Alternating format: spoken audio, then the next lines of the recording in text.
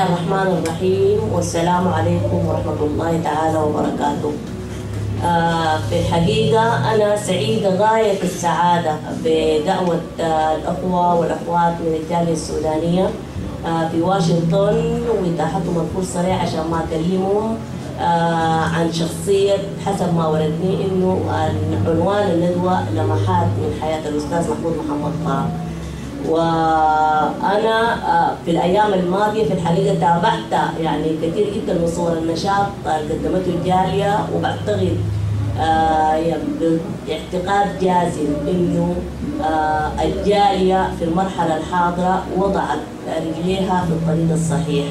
بفتح آه، المنابر الحرة بإشراك الآخرين في دور راي في المسائل اللي بتهمنا كلنا سواء كانت مسائل سياسية أو مسائل اقتصادية أو اجتماعية.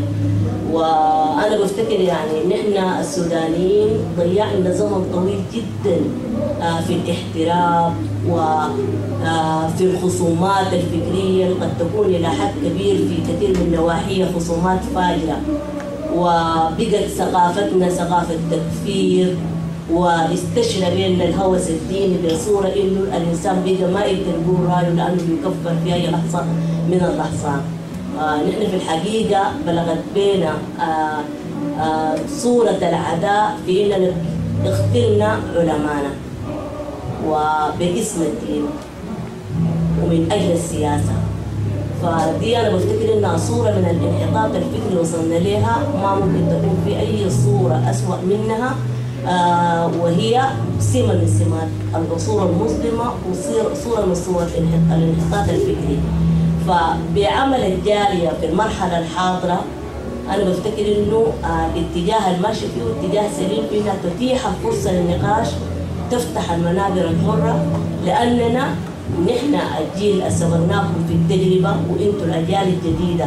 إذا وضعنا أيدينا مع بعض واتجهنا لمسألة النقاش الحر البناء بنهزم الهوس الديني والأستاذ محمود في الحقيقة عبر تاريخ الحركة الفكرية حركة الفكر الجمهوري كان بيفتكر إنه الهوس الديني هو أكبر وألد أعداء الإنسانية وألد أع- أعداء الحياة والتطور.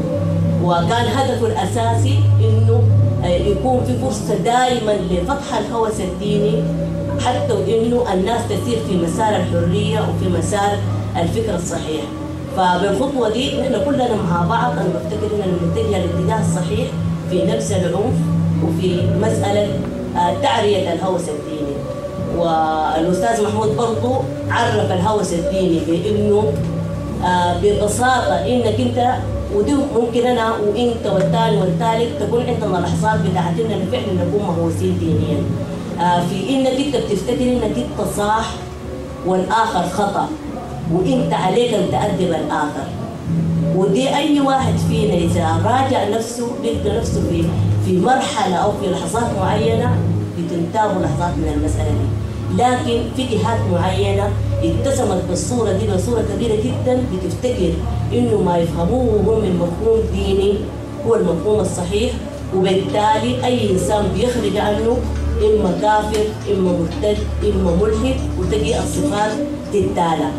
فإذا كلنا مع بعض وضعنا أيدينا في أننا نرسي قواعد النقاش البناء الحر ونفتح قلوبنا وعقولنا في أننا نناقش بعض أنا بفتكر أننا بنكسر وبنزيح الهوس الديني بنفتح الهوس الديني وبنتجه في اتجاه المجتمعات الراقية والمجتمعات القائمة على أسس من الديمقراطية والحرية. وده أنا بفتكر إنه مستقبل البشرية. فبشكركم شكرا كثير على إتاحة هذه الفرصة زي ما ذكرت. آه للموضوع الموضوع آه هو لمحات من حياة الأستاذ محمود محمد طه وأنا بفتكر إنه كونه مثلا الناس الجارية طلبوا مني إنه أتكلم في الموضوع ده بالتحديد قد يكون جزء كبير منهم آه بيعتقد إنه أنا لصلتي الشخصية بالأستاذ ممكن أدي بعض النواحي والجوانب اللي بتكون خافية عليهم وقد لا تكونوا ألموا بها في الاطلاع آه على شخصية الأستاذ في مجال الفكرة وفي مجال السياسة زي ما هي مبوبة موجودة في الكتب. آه لكن أنا عايزة أذكر حاجة إنه آه في حقيقة الأمر إنه الأستاذ محمود ما كانت في حياته في خصوصية بالمعنى أنا بعرف كثير من المعلومات الأخوان الجمهوريين ما بيعرفوها. للحد إنه عدد كبير جدا أو أي واحد من الأخوان الجمهوريين لو سألته بيقول لك أنا بفتكر إنه الأستاذ محمود بيحبني أكثر من الناس الثانيين ودي مساله ممكن أنتم تتحروا منها من الأخوان الجمهوريين والأخوات الجمهوريات اللي بتعرفوهم. وبذكر بالمناسبة دي آه، في مرة من المرات كانوا في طالبات من جامعة الخرطوم آه، اطلعوا على الفكرة الجمهورية وقالوا عايزين يجوا يزوروا الأستاذ عشان يسألوه بعض الأسئلة. آه، في الوقت ده ان إحنا كان عندنا حملات اسمها حملات دعوة الحملات الكتب أو حملات الدعوة. بيطلعوا فيها الأخوان الجمهوريات والاخوات الجمهوريات في حملات بيوزعوا الكتب وبيناقشوا في الشوارع وفي الطرقات في الميادين العامة. ولما نرجع بالاخوات الجمهوريات بصورة خاصة بيصافحوا الأستاذ في يدهم. فالطالبات كانوا واقفين جنب الأستاذ ونحن بننزل من الباص كل واحدة بتيجي تسلم على الأستاذ تصافحوا في يدها فهم واقفين عايزين يعرفوا بنات الأستاذ ويدهم. فقالوا كل ما تجي واحدة تسلم على الأستاذ يقولوا دي بنته. بعد شوية تتضح انها دي يقولوا لا دي بنته. وهكذا لحد ما الباص انتهى ما كانوا عارفين بنت الأستاذ محمود ميادان ودي برضها أنا برفعها يعني كلمحة أو كنموذج من شخصية الأستاذ. إلى أي مدى الأستاذ كان طارح نفسه كإنسان يشيع المحبة بين كل الناس. على تساوي وعلى مقدرة كبيرة جدا بالرغم من المهام الأخرى والمشاغل السياسية اللي كانت محيطه به والمسائل اللي كان عليه يتدبرها. لكن كان عنده المقدرة على محبة الناس بالصورة اللي إنه أي إنسان ممكن يفتكر إنه هو أحب له من الآخرين. فدي أنا بفتكر إنها مسألة بتوري القيمة الإنسانية في الفهم الديني. لما يعاش الدين في قيمة كبيرة جدا على مستوى المحبة والسلام و و و والمعنى الإنساني في في محبة الناس. آه فالأستاذ محمود كانت تقريبا دي دي دي حياته. وللتعريف به وقتا آه هو زي ما معروف عند كثير منكم بعضكم قد لا يكون معروف عندهم آه ولد في مدينة رفاعة. اللي هي شرق النيل الأزرق آه سنة 1909 حوالي كده. ف آه لما عمره بقى حوالي 1915 بالتحديد آه والدته توفت فانتقل والدهم أخذهم وانتقل بهم لقريه قريبة من رفاعه اسمها الهجيليج وعاشوا هناك في المنطقة. من الأشياء برضه ممكن تدي تصور لشخصية الأستاذ. الأستاذ لما لما كان بيتكلم عن تاريخ عن الفترة بتاعت طفولته بالتحديد كان قال في, في, في لما كان في المعتقل زارته واحدة من الأخوات الجمهوريات. فذكر لها تسلسل حياته وطفولته كانت كيف. من ضمنها قال قال لها أنا بوصي الأخوان والأخوات الجمهوريين بوصيكم كلكم في انكم تقروا الأيام. قال قراية الأيام إنه مثلا هو لما كان عمره خمس لما كان عم... لما توفت والدته بالتحديد أخذهم والدهم ورجع بهم على القرية الصغيرة فقال في القرية الصغيرة دي نحن وجدنا فرصة نساعد والدنا في الزراعة. فقمنا بالزراعة وكانت عندنا فرصة فينا إن نتعرض للطبيعة ونبني شخصياتنا وتقوى بها شخصياتنا ونعتمد على نفسنا. فقال في أي نغمة بتمر في حياتك أنت ممكن تكون في نعمة تشوفها من وراها ولو خيرت ما تختار إلا الوضع ذاك بالرغم من مسخر النغمة الموجودة فيه. قال لو ما والدتي توفت ما كنا وجدنا الفرصة في ممارسة الزراعة وما كنا وجدنا الفرصة في تقوية شخصيتنا واستغلالية شخصيتنا. قال بعد ذاك في عام سنة 1920 والدهم توفى لما والدهم توفى اخذتهم عمتهم من القريه الهجيليه جابتهم لرفاعه على أساس إنهم يلقوا فرصة في التعليم. فقال لو والدي ما يتوفى ما كنا جينا لرفاعة وجدنا الفرصة في التعليم وأنا بقيت مهندس. كان ممكن أكون قاعد تاجر في الهجيريج عندي دكان صغير وقاعد فيه الوقت كله. ما ما مهتم بالقضايا الفكرية ما عارف العالم حولي ماشي فيه شنو فدي من المسائل اللي قال ممكن ترد الإنسان بالله. وتخليك أنت دائما أي نغمة تمر بك تقول ده أحسن ما يمكن أن يكون بالنسبة لي. عسى أن تكرهوا شيئا وهو خير لكم وعسى أن تحبوا شيئا وهو شر لكم. والله يعلم وأنتم لا تعلمون. فدي فرصة للرضا بالأشياء اللي بتحف بحياتنا. قراءه الأيام من الأشياء المهمة جدا إنه الواحد يتعلمها.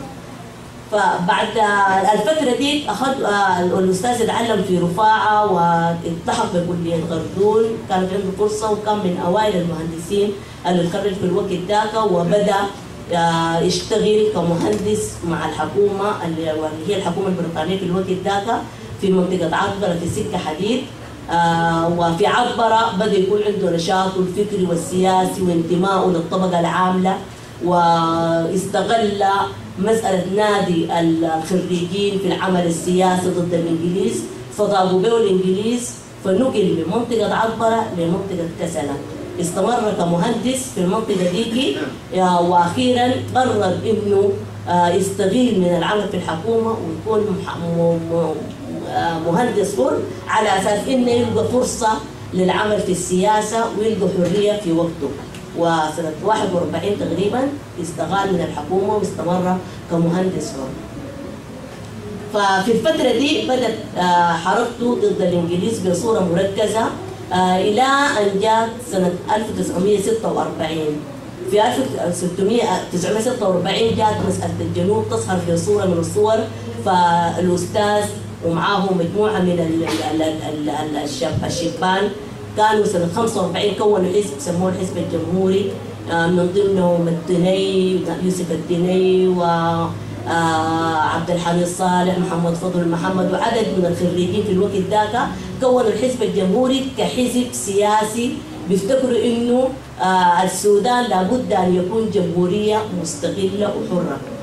وفي الوقت ذاك الدعوة كانت كأنها دعوة مثالية بصورة كبيرة جدا. وهي قامت كدعوة ضد الحزبين الكبيرين اللي هم الاتحاديين وحزب الأمة اللي هم حزب الأمة كانوا بيدعوا الاتحاد مع التاج مع بيدعوا لأنه يكون الحكم تحت التاج البريطاني والاتحاديين كانوا بيدعوا الاتحاد مع مصر. فهم قالوا ولا اتحاد مع مصر ولا حكم مع تحت التاج البريطاني وإنما جمهورية مستقلة. فكان في الوقت ذاك الناس بيضحكوا عليهم على اعتبار إنه ما في فرصة. السودان وهو خارج من ال من ال من ال من الاستعمار إنه يكون آه جمهورية ومستقلة. فقامت الفكرة الحركه الجمهورية قام الحزب الجمهوري بصورته دي وضد الاستعمار. فلما بدأت حركتهم ضد مسألة الجنوب آه واعتقل الأستاذ محمود وحوكم آه لمدة سنة سجن وطلبوا منه إنه يوقع إنه يتنازل عن العمل السياسي أو يسجن لمدة سنة فرفض واستمر في العمل في عدم طاعة الحكام الإنجليز داخل السجن والحركة اشتعلت خارج السجن بالجمهوريين الموجودين في الخارج وبعد 50 يوم أطلق سراح الأستاذ واستمروا برضه في العمل في مقاومة الإنجليز. في سنة 46 برضو من المعالم الكبيرة بالحادث ذاك الأستاذ محمود كان أول سجين في الحركة الوطنية بيعتبر. آه في سنة 46 حصلت برضه مسألة كبيرة آه لحد كبير السودانيين بيسيئوا فهمها اللي هي مسألة الخفاض الفرعوني وثورة رفاعة. آه في ثورة رفاعة سنة 45 كان الحاكم البريطاني سن قانون بيحرم الخفاض الفرعوني. وانه إذا أي امرأة خفضت بنتها خفاض فرعوني بتسجن. فالشيء اللي حصل إنه في امرأة في رفاعة خفضت بنتها خفاض فرعوني فجو الإنجليز وأخذوها وسجنوها. فالأستاذ محمود استغل الحادثة دي آه يلهب بها حماس الشعب السوداني في الوقت الحاضر وخطب خطبة في الجامعة كانت آه خطبة كبيرة جدا في رفاعة. طلع آه خاطب الشباب في الوقت الحاضر وقال لهم الوقت ده ما وقت عبادة في المساجد وإنما وقت العمل ضد الاستعمار وإنه من رأى منكم ظالما فلم ينصره فلن ينصره الله. وإنه آه لابد من إنه الناس يخرجوا في إنه يأخذوا المرأة دي ويرجعوها. وفعلا حصلت الثورة بصورتها ديك والناس رجعوا ومشوا آه كسروا المركز وحصلت الحوادث الكبيرة ضربوا فيها عدد من الناس. وكانت ثورة كبيرة واعتقل الأستاذ بعدها لمدة سنتين من سنة 46 لسنة 48 الشيء ال- ال- الممكن الواحد يصححه في المسألة دي إنه في عدد كبير جدا من الناس بيفتكروا إنه الأستاذ محمود كان آه، مش مع الخفاض الفرعوني. لكن هو في الحقيقة الأستاذ محمود كان ضد الخفاض الفرعوني وقال إنها هي عادة سيئة وشايهة ويجب ت- تنتهي. لكن قال محاربتها ما بتكون بإنك أنت تتجسس على الأسر في البيوت وإنه الإنجليز بالصورة دي كأنهم وضعوا القانون عشان ما يذلونا باسم القانون ويوضحوا للعالم البر إننا نحن بنمارس عادات همجيه وعشان كده يبرروا وجودهم في السودان. قال عادة الخفاض الفرعوني هي عادة بتنتهي بالتوعية. وإذا كان الإنجليز جادين في القضاء على العادة دي كان يفتحوا المدارس ويعلموا النساء ويقوموا بمسألة التربية بدلا من اعتقال النساء وأخذهم للسجون. وهي دي مسألة لصيقه بمسألة العرض ولصيقه بمسألة آه، العادة المتاثر في الشعب السوداني فمحاربتها ما بتتم بالصورة دي ما بالقانون بس. فحصلت الثورة بصورتها ديك والأستاذ اعتقل لمدة سنتين قضاها في سجن كوبر. كان في الوقت ذاك ما بيقوم للحاكم البريطاني وكان يوضع في الزنزانات لوقت طويل. فوجد الأستاذ فرصة زي ما قال إنه كأنه جاء عليه قدر وجد فرصة في العبادة والصيام الصمدي وتلاوة القرآن وقراءة السيرة وتقليد النبي صلى الله عليه وسلم. فاتضحت له معالم الفكر الجمهورية. في المرحلة الماضية كان بيتكلم وبيلهب حماس الشعب عشان ما يتحركوا ضد الاستعمار وبيتكلم عن الإسلام كمذهبية بصورة عامة لكن تفاصيلها ما كانت واضحة. بعد سنة 48 آه، أخرج الأستاذ من المعتقل فجاء اعتكف في رفاعة لمدة ثلاث سنين ثانية. ما طلع وإنما اعتكف واستمر في صيامه الصمد وفي عبادته. وخرج بعد ذاك بتفاصيل كبيرة جدا لفكرة الجمهورية وبدت الكتب في قل هذه سبيلي ككتاب أول إسلام ذا واي أوت وبدأت ال- مرحلة الستينات. تشهد الكتب الأساسية في الفكرة الجمهورية ألف 34 كتاب منها رسالة الصلاة الرسالة الثانية طريق محمد وعدد آه، من الكتب الأساسية شرح فيها الفكرة الجمهورية ووضحها للناس. آه، حياة الأستاذ كلها كانت متركزة على زي ما قلت إنه في فهم خطأ للإسلام وإنه الفهم الخطأ للإسلام والإرهاب القايم حول هذا الفهم باسم الدين لو ما ينجلى المعين الصافي للإسلام ما بيظهر. وإنه المسألة الأساسية اللي بتحارب المسألة دي مسألة إنه الناس يناقشوا وإنه الإسلام بيبعث عن الطريق السلمي زي ما ذكر قبل شوية الأخ فايز مش عن طريق الجهاد وإنما عن طريق النقاش وعن طريق السعه وبدأوا الأخوان الجمهوريين يحملوا الفكرة الجمهورية والأستاذ وضع أسس للمسألة دي إنك أنت ما تتكلم في حاجة ما بتعرفها وإنك أنت تحتمل أذى الناس وتكف أذاك عن الناس وتوصل الخير للناس. والخير قمته هو الإسلام إنك توصل بصورته الصحيحة. فانطلقت الفكرة الجمهورية بالصورة دي وانطلقوا الأخوان الجمهوريين فيها. من المعارف الواضحة جدا في في الفكرة الجمهورية في بعد ثورة أكتوبر. يعني العمل ده كله تقريبا كان عمل قايم إلى حد كبير في نطاق محدود. لكن بعد ثورة أكتوبر 64 بدأت الفكرة تقوم كحزب واضح المعالم لأنه ثورة أكتوبر أجهضت النظام اللي قبلها اللي هو النظام العسكري. فبالصورة دي كانت. بعد ذاك فتحت دور الحزب وبدأ الحزب الجمهوري في نشاطه وابتدأ الأستاذ يا بجولة كبيرة جدا حول أقاليم السودان ومدن السودان المختلفة كان بحاضر في كل مناحي الفكرة الجمهورية في مسألة الصلاة في قضية المرأة في كل القضايا كان بحاضر, بحاضر, فيها وبيفتح فرص النقاش عشان الناس تناقش في- بالصورة اللي سنة 68 انزعج عدد كبير جدا من رجال الدين والفهم السلفي بقيادة الأخوان المسلمين من حركة الأستاذ محمود وفتحهم لجهل الأخوان المسلمين والاستغلال الدين للوصول للسلطة فدبروا مكيدة سموها محكمة الردة. طالبوا الأستاذ بأنه يجي لمحكمة وأقيمت دعوة ضده على أساس أنه أفكاره فيها خروج عن الإسلام وهو مرتد على الإسلام. وكانت الدعوة دي مقدمة أمام المحكمة الشرعية في الوقت ذاك فالأستاذ رفض يمشي للمحكمة دي. قال إن المحكمة دي أول حاجة هي محكمة شرعية مكونة بقانون آه الإنجليزي بقانون إنجليزي والإنجليز أساسا كونوها عشان يوهموا الشعب السوداني بأنه دين قايم قال في الدين الإسلامي ما في حاجة اسمها قضاء شرعي وقضاء مدني. الدين الإسلامي المفروض يكون بيلف بيشمل كل نواحي الحياة. فالإنجليز أوهموا الناس بأنه في حاجة مدنية وحاجة شرعية وأدوا الشباب القضاة الشرعيين رضوا في أنهم يستعملوا من الاستعمار في هام الشعب بأنه في قضاء شرعي بمعزل عن القضاء المدني والدين الإسلامي غير كده. قال المحاكم دي بموجب قانون تكوينها الاختصاص بتاعها إنها تنظر في قضايا الطلاق والزواج والإرث وما يتعلق بالمسائل دي. وهي ليست مختصة في الفصل في القضايا الفكرية.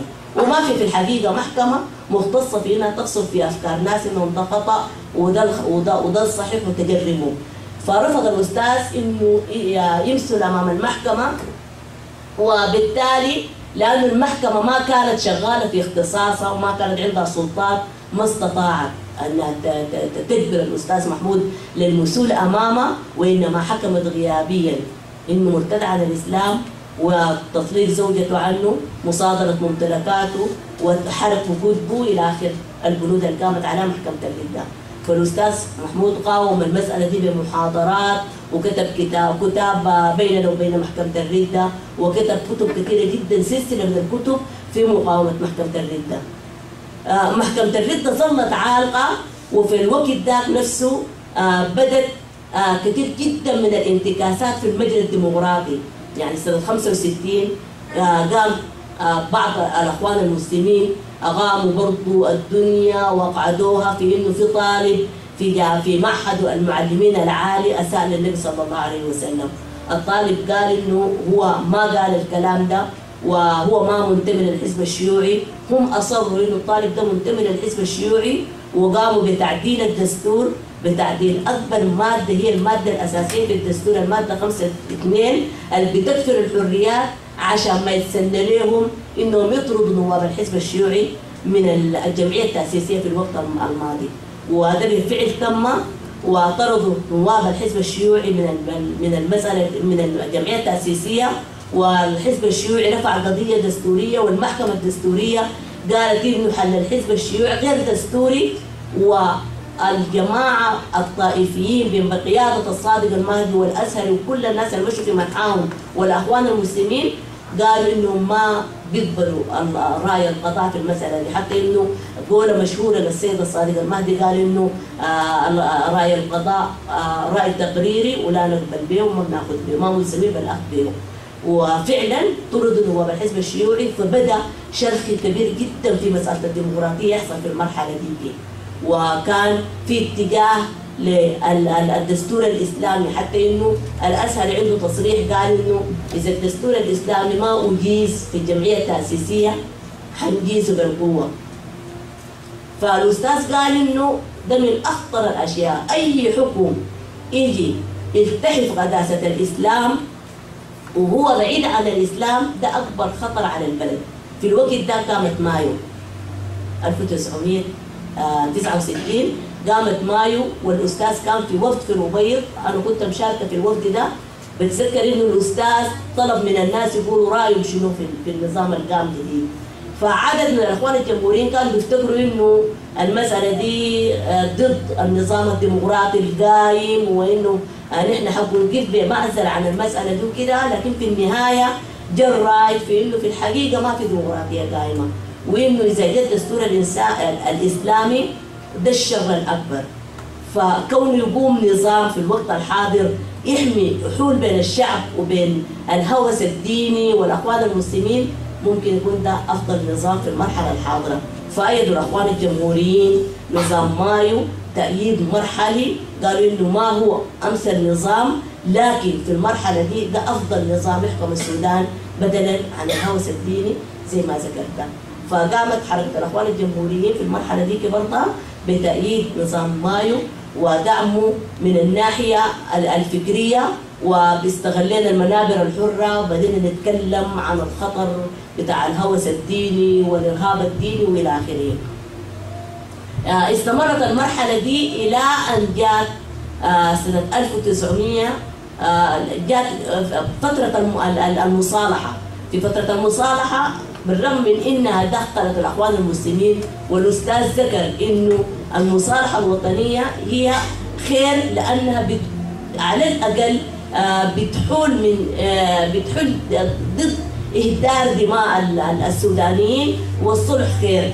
لكن قال إنها دي المرحلة الثانية والأخيرة من نظام مايو.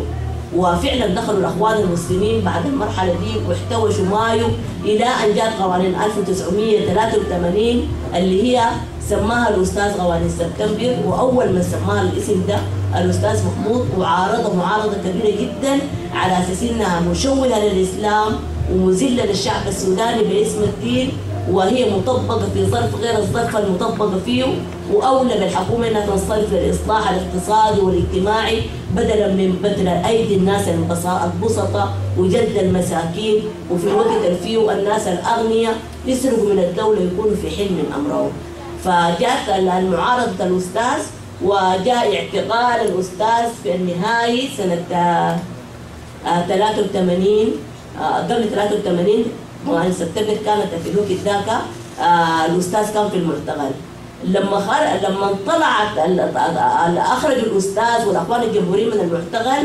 الأستاذ قال إنه نحن في الحقيقة ما أخرجونا من المعتقل لأنه دايرين إننا نكون أحرار.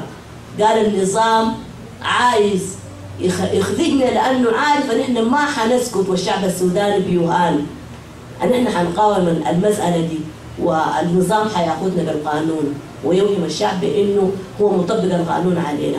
وبالفعل بعد ما طلع الأستاذ بإسبوع واحد طلع المنشور الشهير هذا هو الطوفان وكانت به ادعت به المسائل إلى أن قدم للمحاكمه وفي ظرف بتاع كل 10 11 يوم تمت المسألة آه إلى آه إنه آه نفذ حكم الإعدام في الأستاذ محمود.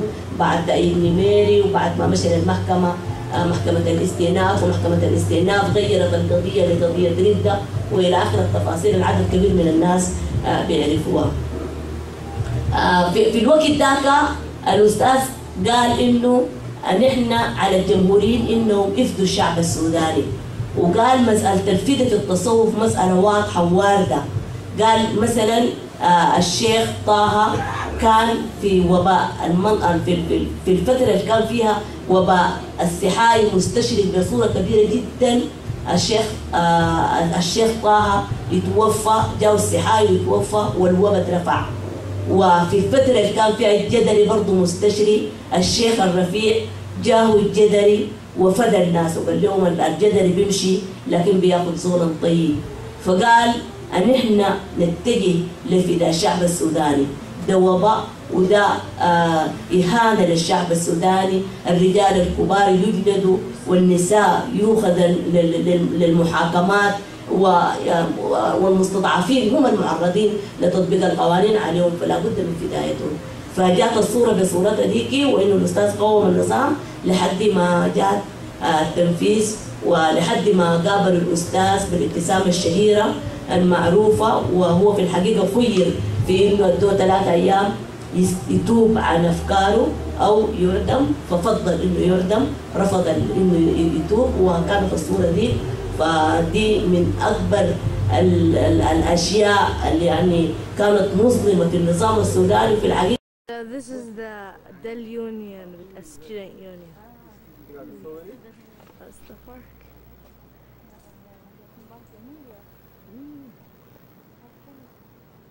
احمد كنت تنزل كويتك كان عارفينها حلو هم جابوا معنا كلمة خلاها في العربية أنتوا جورج واشنطن يونيفرستي شنو؟ في واشنطن Ahmed, كبيرة شديد ولا شنو؟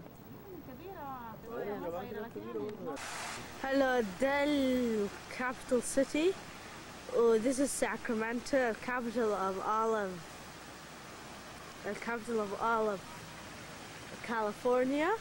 California. ونحن هسه ماشيين في inside it, inside the, like the capital place. وما عندنا مشكلة خلاص. ورينا Okay, شوف حاجة- this حاجة is ريكورد. the ريكورد where the whole all of California is like Gray Davis's. بصور بجاي صوري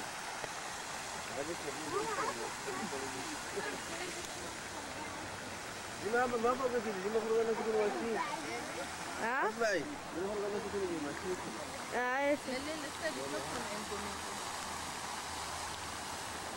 لكن على يعني في فيديو زي القصة بتاعت سجن الموت أيوه الفكرة هناك مسجد المسلة بدل المسجد عادي ليش تصوري؟ aye, تصوري؟ aye. لكن بتصوري ليه في الفاضي؟ ما في الفاضي ده بتصوري الناس كيف تصوري في المناظر شاي عشان تتذكروا okay كويس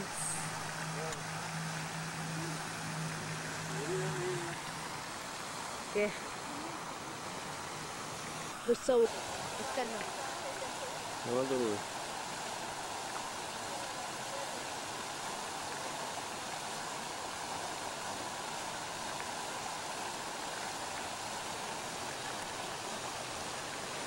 people.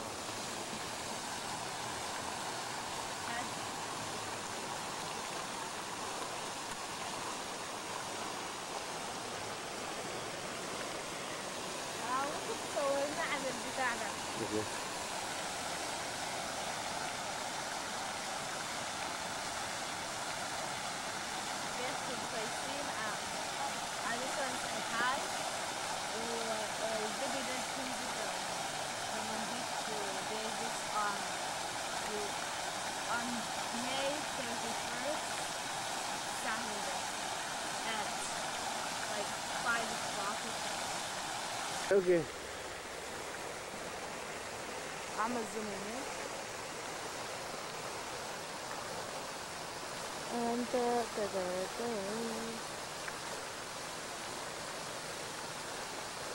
Hello, the mineral well, and over there, this is his wife.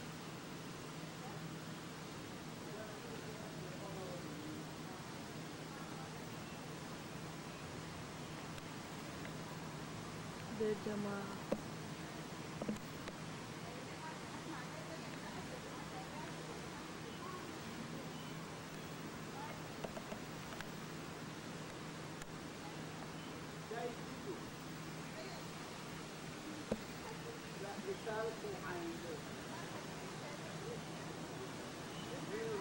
شايفانا شايفانا نازل في اول ساكرامنتو والبتاع بيفتح للباخر عشان تمر. ده زي حق كوستي. أيوه.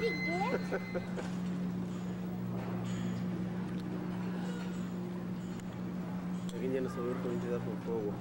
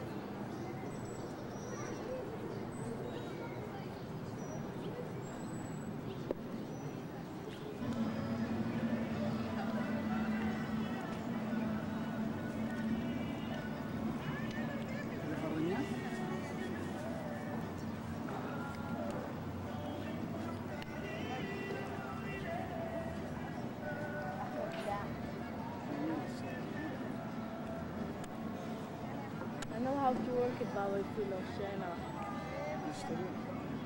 زي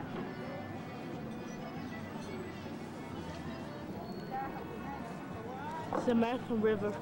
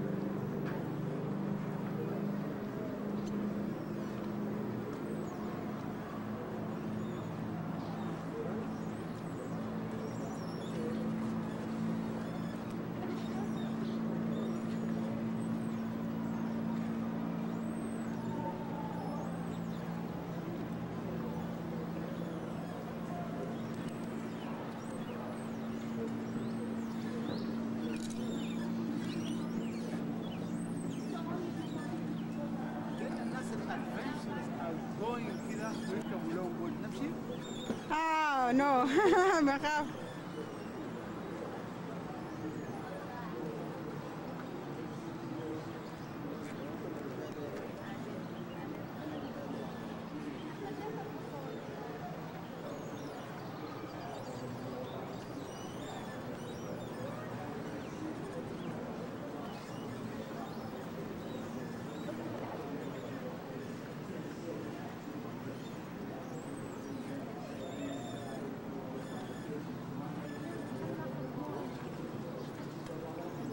baratas.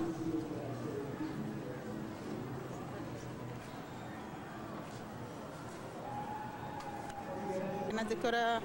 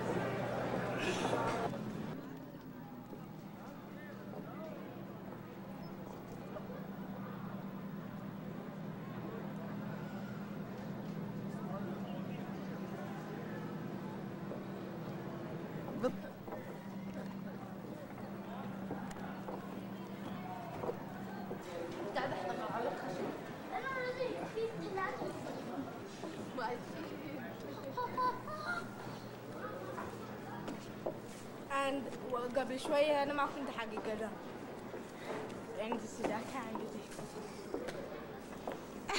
واللي باقي اللي باقي سجاير ما تفتكروني يا جماعة أنا اللي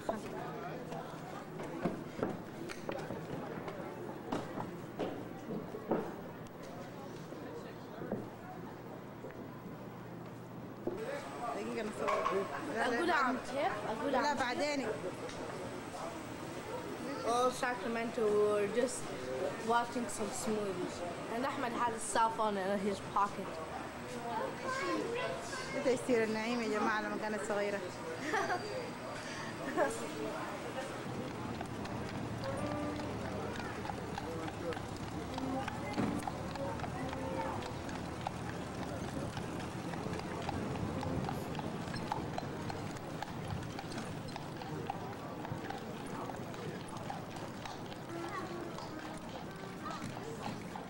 واحدة جاية؟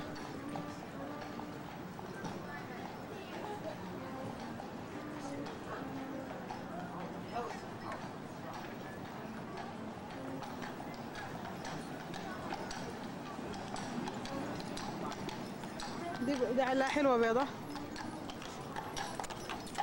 هاتوا دي لبانة على الله عيدي على القديمة احكي لك نكته مهم. هناك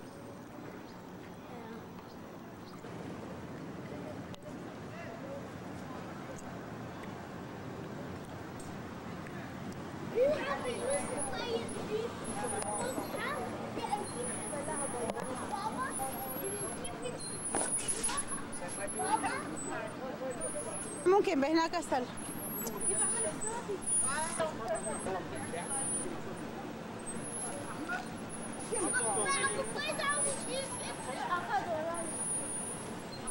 خلاص فعلا بهنا أوضح.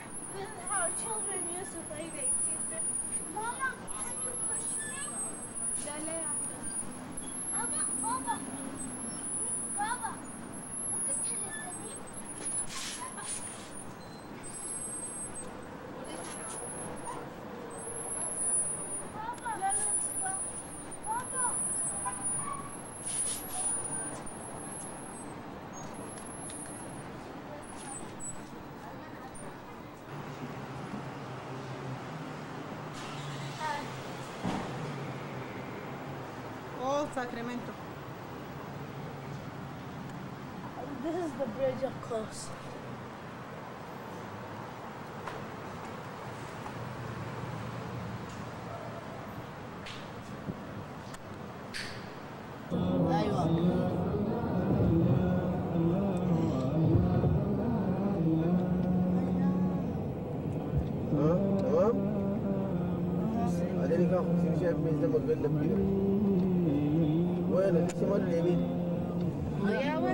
كيف شمال شمال خليك في ده عشان شمال كده كده أيوه. أنا عارفة ميس بولفارد بيجي بيجي المدرسة وعارفه حظ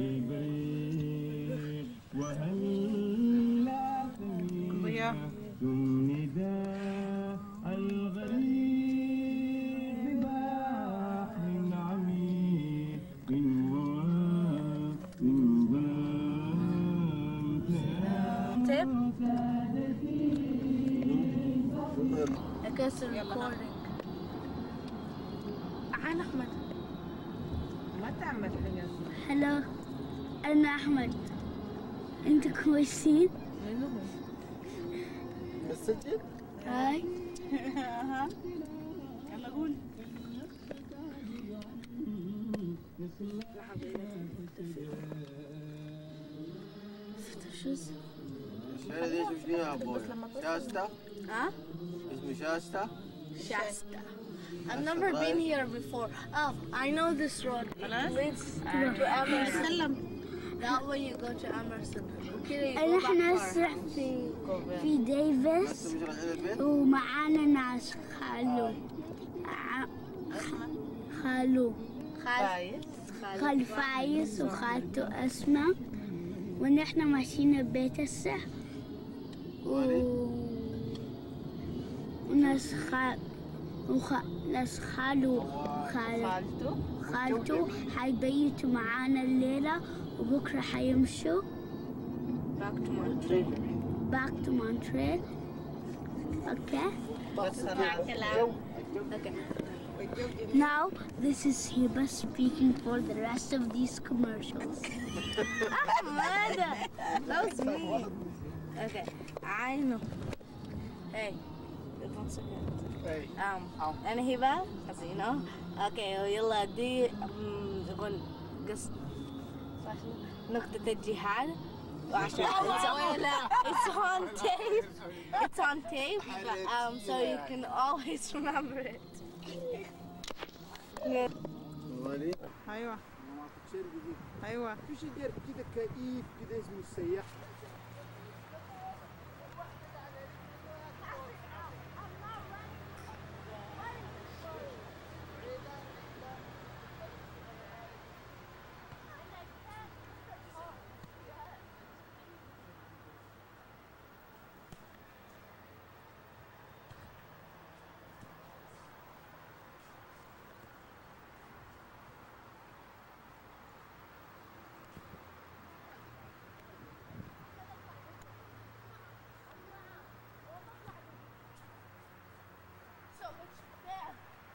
لا ما دي ما قادرة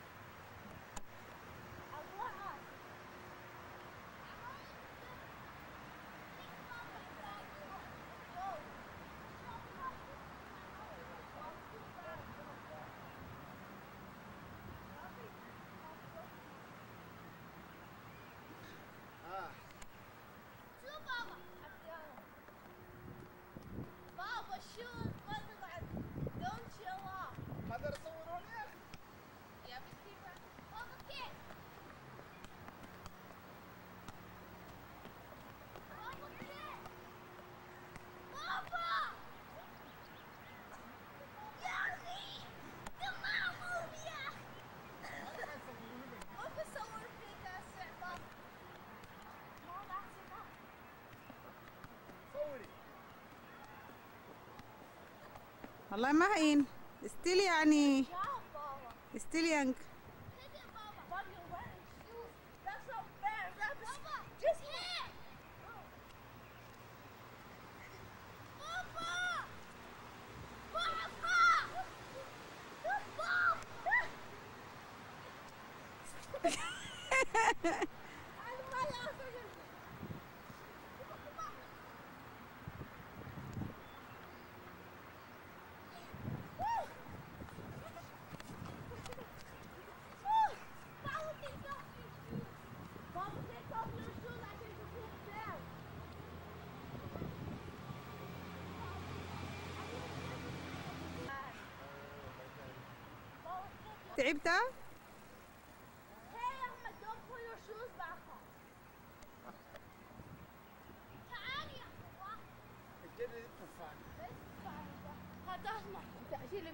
قوي لا عشان تلعب.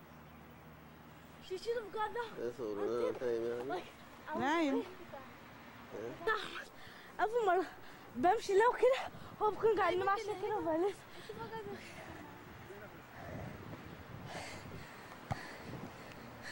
هلا نحن هسه في الكوميونتي بارك بتاعنا و we were just playing. قبل شوي أنا I played أحمد and I took the ball from him really hard. And كل ما يكون قاعد ماشي باتجاه أنا بمشي للاتجاه الثاني it was really funny. لكن أيوه كده. عشان الضوء. أجي في هناك في الضوء عكس الشمس. It's playing, I think. But wait, والله يا بوف ما شاء الله. ما شايفك انت ما شايفها صوري صور كذا I can't even see the ball. اعملي زومي انت شوفوه بعيد Uh, this is the this is the 16.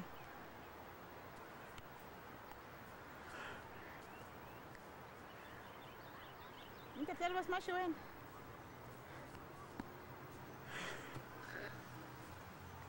قال to Asma to the rescue.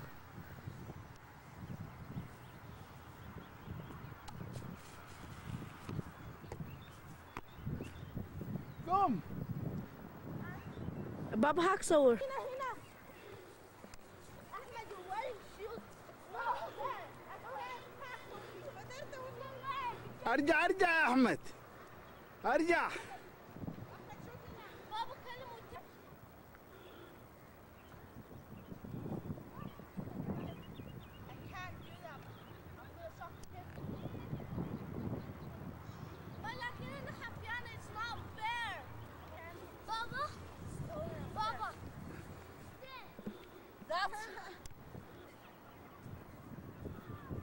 أوكي هلو.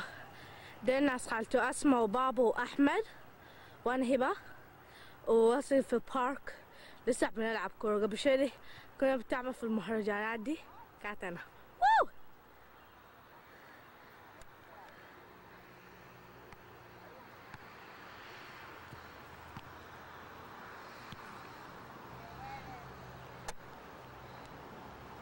ده بابا السحر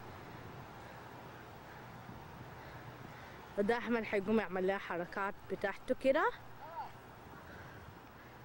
واو! جو بابا I like screaming too.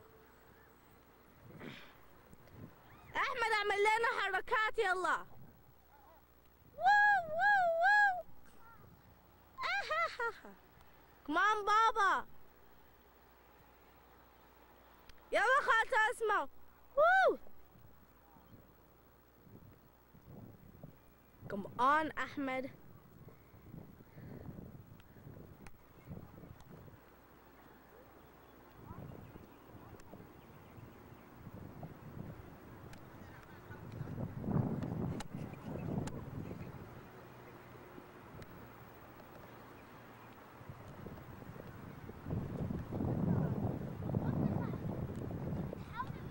دبابة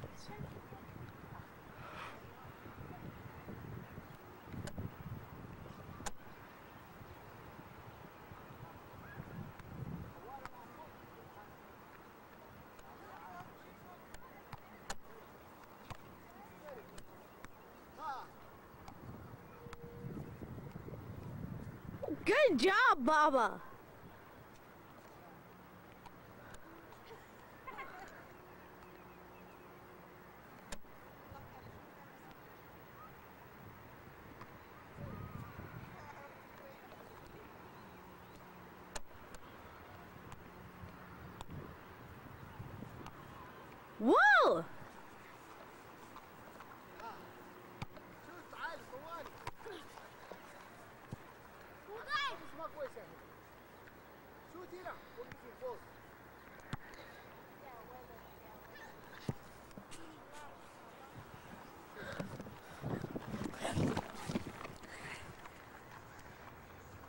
just kick the ball. So, yeah.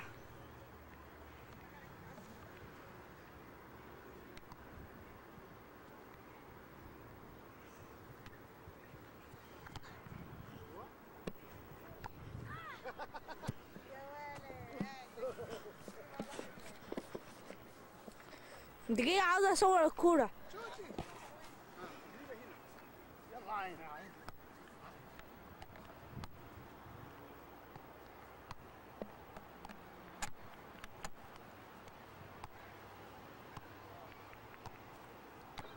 Get him, McFire.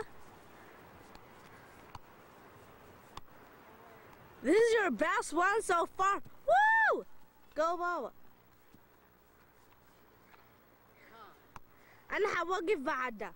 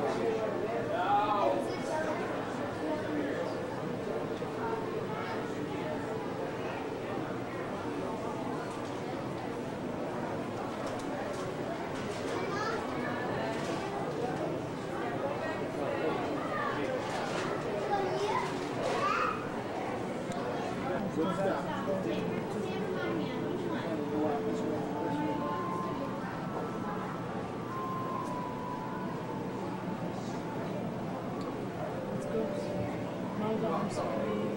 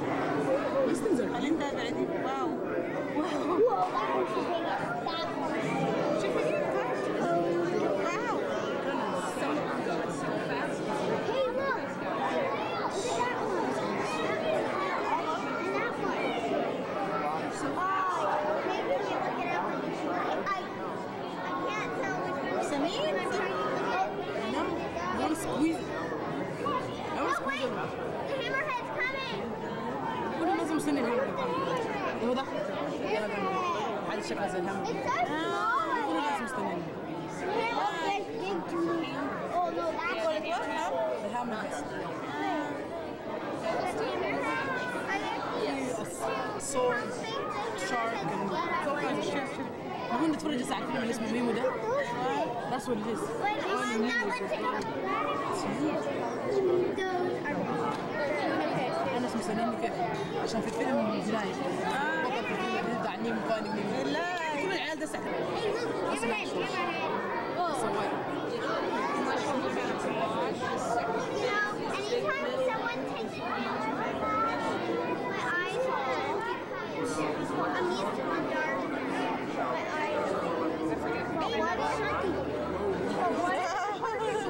Very far away and in a totally different room. And it doesn't matter, but I'm in this room.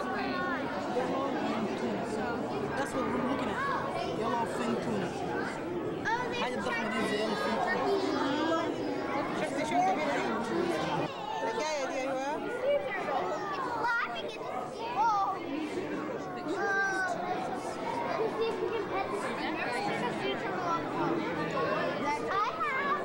I have it. You have. Sinking right الحاجة اسمها بس الحفاة شو اسمه I've seen one of the bears. يد يعني ده اللي فوق عنده آه اشوفه في ده ذاته بس من فوق ليش؟ شوفي ديله هنا زي ما عبر عنها واحد من النواب البريطانيين في البرلمان البريطاني. انها دي في الحقيقة قال آه، مسألة قال يعني في معنى الكلام إنها أهدرت آه، وأخجلت رجولة أي رجل. وفي الحقيقة آه، يعني مسألة كانت مخيبة بالنسبة لكل الرجال والنساء لأننا كلنا وقفنا مكتوفين الأيدي في اننا ندافع عن حرية الفكر وفكر مسالم وفكر ناصع البياض والصحة بالصورة اللي بها. آه، دي بعض آه، النماذج من حياة الأستاذ ال- السياسية آه، لكن في الجانب الآخر آه، يعني ممكن الواحد يقول عشان ما يطول على الناس يدي برضه فرص النقاش إنه شخصية الأستاذ يعني ممكن الواحد يقول عنها شخصية الرجل العادي البسيط الأخرج كل الكتب دي. وربى كل الناس اللي كانوا ملتفين حوله من أخوان وأخوات. علمهم كيف يناقشوا وكيف يتكلموا وكيف يتعاملوا في المجتمع. الشخصية دي كانت عايشة في بيت من جالوس. كانت بتاكل الكسرة والملاح. كان آخر من ياكل في البيت. كان يقول إنه الأطفال ياكلوا في الأول والنساء ياكلوا في الأول حتى ياكل هو في النهاية كان لبسه بسيط اللي هو الساكوبيس العادي وما كان عنده في بيته ولا مروحة ولا ثلاجة ولا حمامه عادي بالطشت العادي. وده من المهندسين الناجحين جدا في البلد من أوائل المهندسين.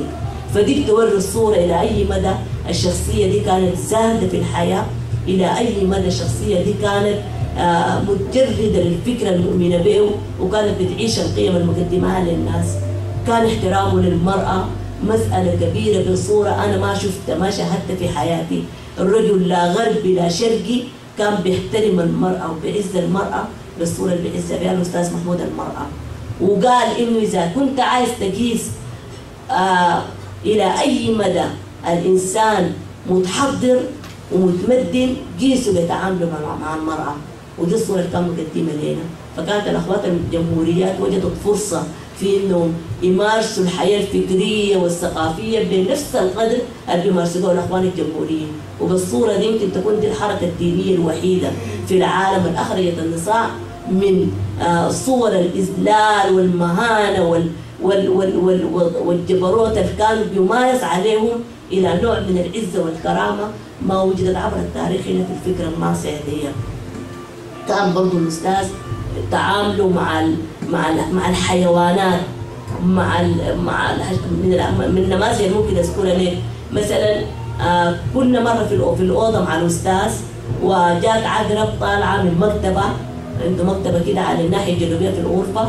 جات عقرب طالعة ورافعة ضنبها فقامت واحدة من الأخوات آه رفعت حسالها مؤاخذة عايز تضرب العقرب. الأستاذ قال لها سيبيها والعقرب نزلت ضنبها ورجعت في محلها قاعدة.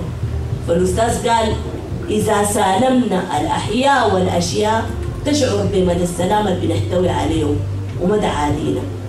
وبالصورة دي قال يشيع السلام وسط الناس. وده الشيء الحال اللي كان عايش عليه في حياته. كان يقول ما تمشوا في النجيلة لأن عندها روح بتحس ما تؤذوها. فدي دي دي نموذج من الحياة اللي كان قدمها الأستاذ. وكثير جدا من التفاصيل ممكن ترد في المسألة دي. لكن أنا ما عايزة أطول عليكم وحاولت أبرز بعض الجوانب الإنسانية بالإضافة إلى الجوانب السياسية وبتيح لكم فرصة للنقاش.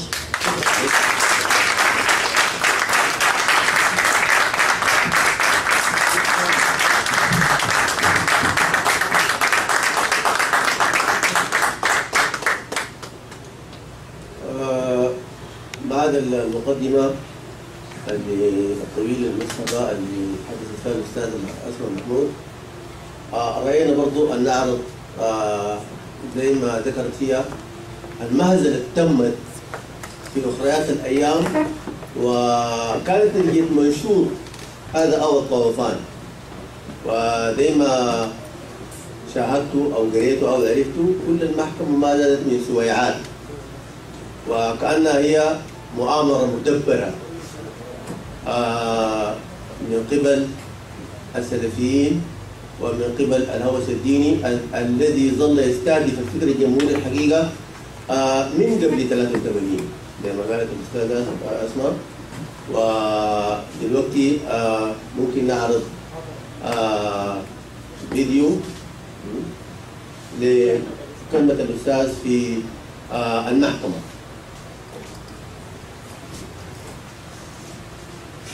المحكمة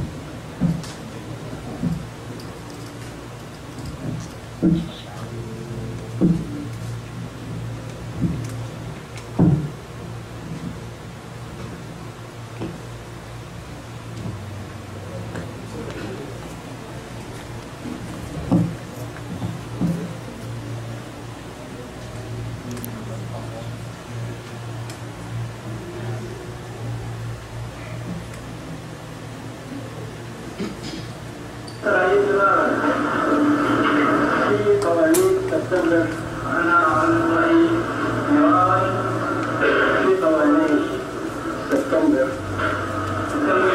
83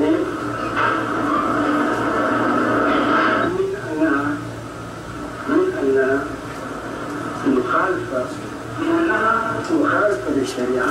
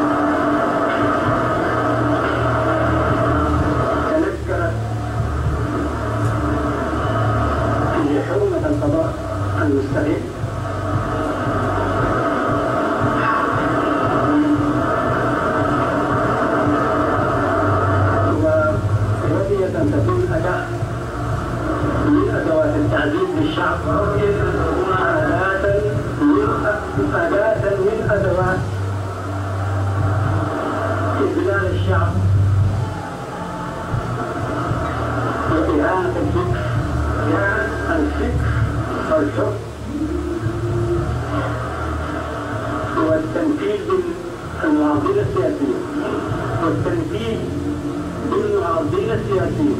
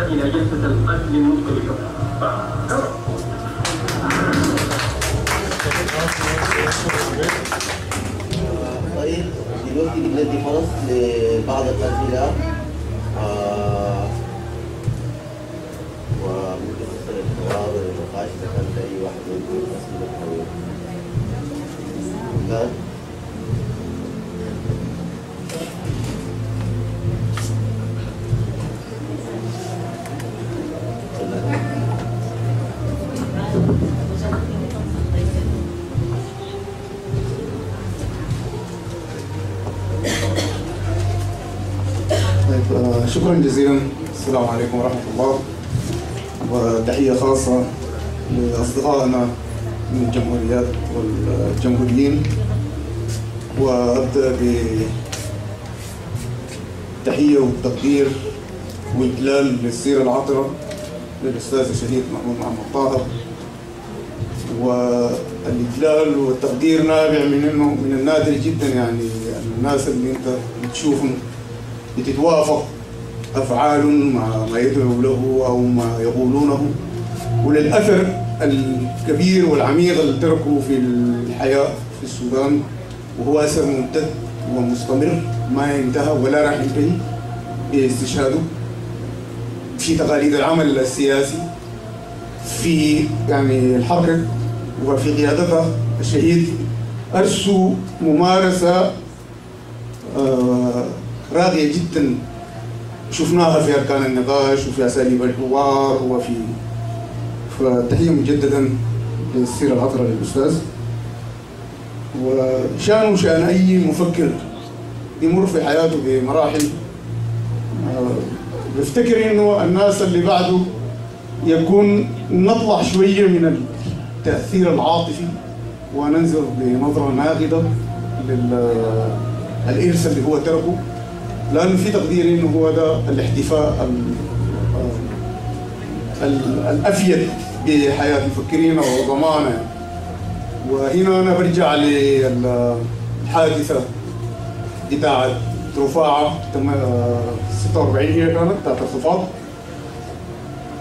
وفي تقديري إنه كان التقدير بتاع الأستاذ محمود محمد طه خاطئ في مواجهته للإنجليز. باستغلال الحادثه دي يعني. ما عندي شك اطلاقا للتقدير اللي يمكنه الأستاذ محمود للمرأة ونظرته في الخفاض أنا متأكد إنه هو ضده وكذا لأنه ده بينسجم مع مواقفه كلها يعني لكن هل ده كان ال- ال- الموقف الصحيح؟ طيب ما الانجليز برضه منعوا الرق اصدروا قانون سنة 23 ضد الرق يعني. هل لو كان القانون ده سنه 46 لأنه اصدروه الإنجليز كان الاستاذ محمد طه هيجيب ضد ال... ففي رأيي إنه المراجعه يعني هي ماشي ما فيه انغاص للقدر يعني لكن نفس الشيء حصل آه، فر- فريدريك أنجلز 1900 1873 في الطبعة الثانية لكتاب البيان الشيوعي اللي هو صدر في المرة الأولى سنة 1848 لما جاء بعد 25 سنة كتب في المقدمة قال لو لو يعني عيدت كتابة الكتاب ده ما حيكون بنفس الطريقة اللي إحنا كتبناه به سنة 48 ولكن ده في حياة كارل ماركس نفسها ولأنه حصلت تطورات كثيرة في تركيب الطبقة العاملة و- ف- فالمراجعة فيه يعني وهي مراحل بمر باي مفكر وبنلقاه ال- سؤالي في إنه برضه في في لما جينا للسيره دي اسال عن التأثير بتاع فكر ماركس على الأفكار اللي محمود محمد طه. يعني في المقولة اللي قالتها الأستاذة حول المقياس النظرة للمرأة والتعامل مع المرأة هو بيقيس موقع في التطور انت قدر شنو يعني. ودي كانت مقولة برضه قال ماركس من فترة طويلة جدا في إنه يعني قياس المجتمع تطور بيقاس من موقف من المرأة يعني. وبنلقى في في تشابه في في حاجات كثيرة. فدار أعرف إنه يعني هو درس الفكر بتاع ماركس دراسة منهجية. واكيد هو كزول بفكر مطلع واسع الاطلاع يكون درس ف فما ف... وعنده عنده مساهمته حتى في نقد الماركسية في محاضرة أنا شفتها في موقع الفكرة. آه آه، بس بختم بإنه يعني آه، التقدير والاعتراف بالاثر ال- ال- العميق اللي تركه فينا واستشهاده وشجاعته في مواجهته وشفنا هسه الفيديو الأخير في الثبات يعني الحقيقة الواحد داخليا بيهتز لما يشوف مواقف زي دي وناس زي دي. كويسين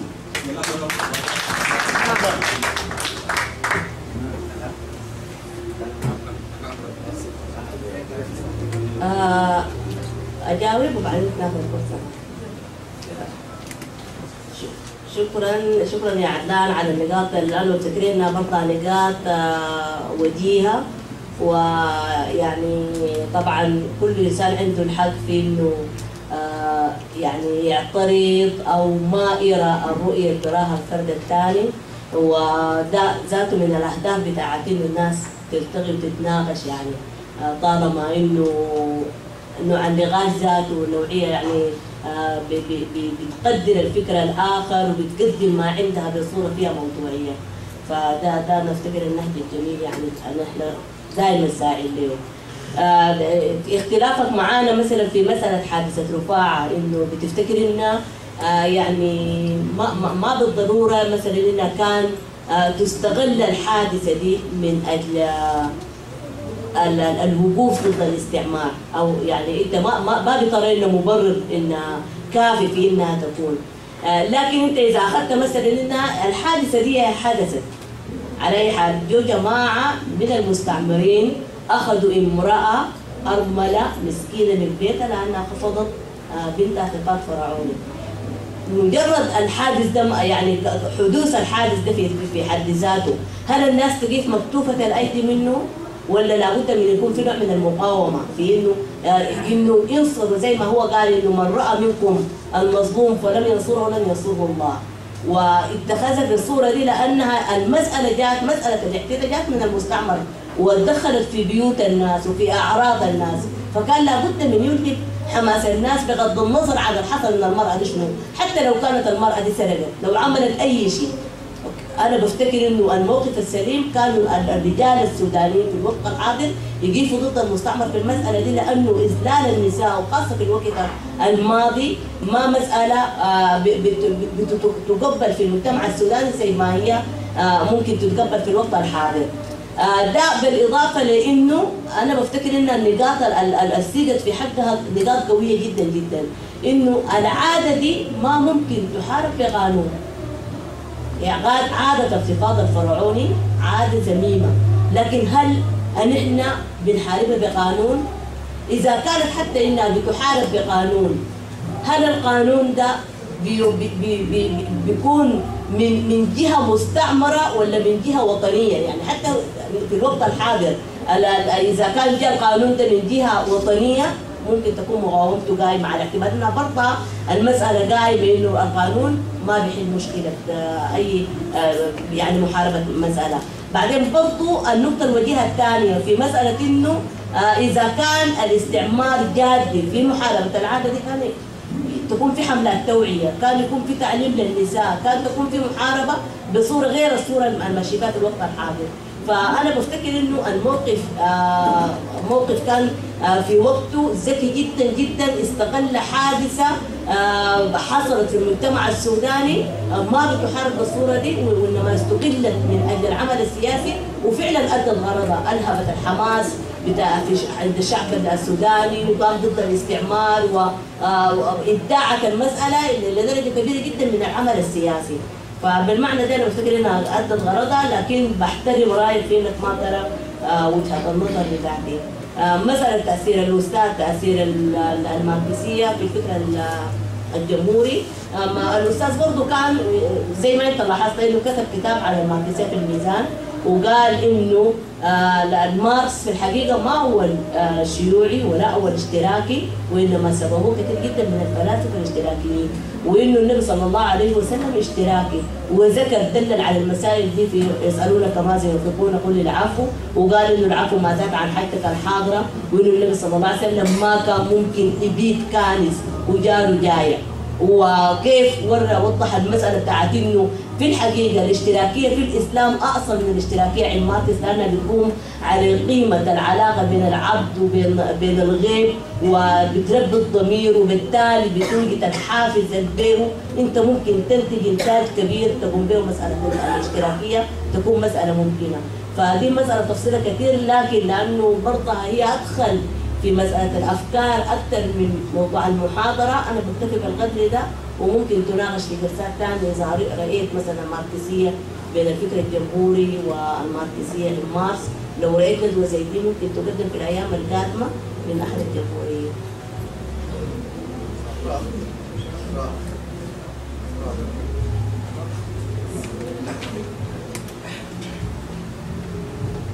فنحن في البداية يعني حاجة عالية. الصوت أنا عفرة أحمد عبدين آه، آه، حي الأستاذة أسماء وحي الأستاذ محمود. واستحضرني قول شاعر اختفى برضه سوداني اختفى في ظروف غامضة ومعروف اختفى كيف في عهد في عهد في العهد الحالي في- رسالة الأستاذ قال ما كان جهلا منك حين حملتها وأبينا أن يحملنها. ف تأثير الأستاذ على الشعب السوداني كبير وبالذات المرأة السودانية. نحن ب- في جيل الأستاذ. آه، أنا أفتكر إن أنا empowered a lot بأفكار الأستاذ وبمنظر المرأة الجمهورية في ثوب الأبيض في الشوارع في اتليست في مرأة غير المرأة اللي بتطلع عشان تمشي تشتغل تجيب قروش تاكل أولادها ولا تمشي مستشفى ولا الممرضة ولا ست الشاي ولا المنظر العام ال- المرأة بف- شكل جديد للمرأة اللي هي المرأة اللي بتعرض الفكر بصايد الحاجات الثانية. آه، عندي تعليق أولا هو إنه آه، الأستاذة قالت إنه الأستاذ آه، كان بيفتكر إنه مايو هي الحل الأنسب في هذه الفترة. فأرجو إنه نحن نكون كلنا أو كمواطنين سودانيين وسياسيين يتعلموا إنه اختيار الحل الأنسب أو ال- المرحلة الأنسب ما اختيار الحاجة الاصح هي ال- ال- الأصح هو ال- ال- ال- اللي بيستمر يعني. هو الأصح هو اللي بينتج الصحيح. والصحيح هو اللي بينتج الأصح. اختيار الأنسب في مرات كثيرة جدا بيتحول لل- للشكل اللي تحول به ده آه، النظام مايو في الفترة الأخيرة. آه، سؤالي الثاني أسمع بتتكلم عن إنه آه، الإسلام بشكله الراهن أو تطوير الإسلام اتطور في تطور الإنسان الإسلام بقى محتاج لتطور الفكر الإسلامي عشان يواكب حياة الناس ال- في, في, كل العصور. آه، الأستاذ توفى له 25 سنة وأنا افتكر إنه 25 سنة دي كانت آه، فاصلة في تاريخ الإنسانية عموما أو ال 50 سنة اللي فاتت دي كانت نقطة فاصلة في تحول فاصل في تاريخ الإنسانية عموما والتغيير اللي حصل فيها افتكر إنه في ال 500 سنة اللي فاتت ما حصل يعني فما شفنا أي شيء جديد حصل آه، تطور جديد يعني حاجة عشان نحن نواكب ال- الفكر الجمهوري عشان نواكب التطور الهيوج ما بيساوي أي ما زي أي تطور قبله ده فمن وفاه الأستاذ آه، ما شفنا أي شيء جديد طلع. النشاط الجمهوري شكله انتهى تقريبا. ما ما ف- فالفكرة شو؟ الفكرة إنه آه، في الجمهوريين عندهم عرض جديد يناسب المرحلة الجديدة ولا برضه قراية في الكتب القديمة زي ما كان آه، الناس اللي قبلهم كانوا بيقروا في القرآن وفي كتب السيرة القديمة عشان يحلوا مشكلة 1900 بيحلوها بأفكار سنه 500 ففي في فكر جديد آه، معروض وموجود وتشريع ولا whatever شكله بيناسب المرحلة اللي إحنا موجودين فيها شكرا جزيلا.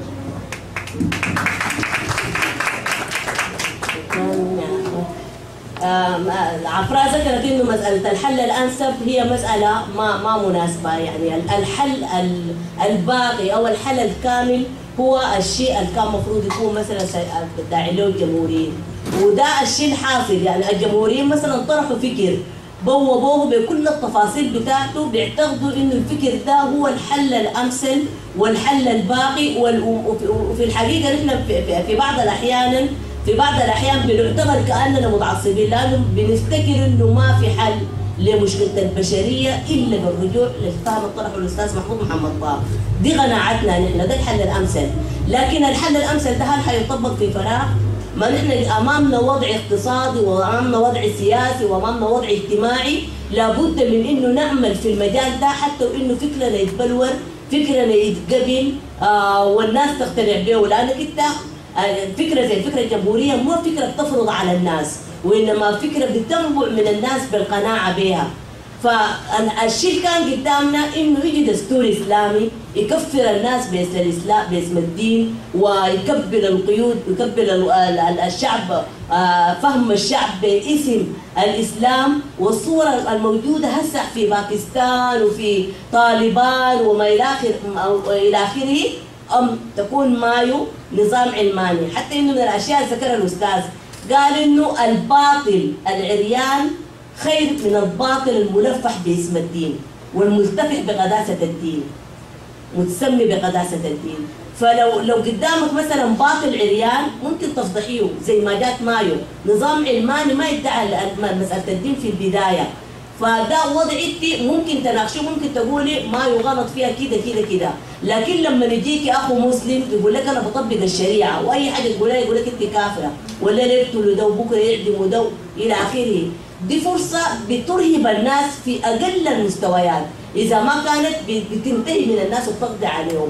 فنحن ما كان عندنا خيار إنه في نظامين قايمات ده النظام الانسب هو ما النظام الكامل لكنه نظام مرحلي ليس ما الشعب يقتنع بالنظام الأكمل اللي نحن له. آه، في النقطة الثانية ذكرتها ال- ال- ال- الأخت عفران مثلا في إنه يعني من انتقل الأستاذ ولحد الآن 25 سنة ما في حاجة جديدة والأخوان الجمهوريين مثلا ما عندهم عمل يقولوا آه ودي نحن دائما بنقول للناس إنه أنت أنت دورك شنو؟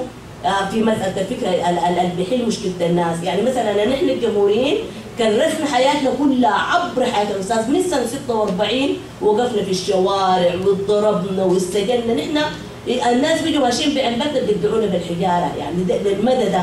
ونحن ما كنا في, في, في, في الفترة دي كلها ساكتين كنا بنتكلم وبنناقش لكن كان في سلبية من المثقفين بصورة خاصة ومن النساء بصورة أخص.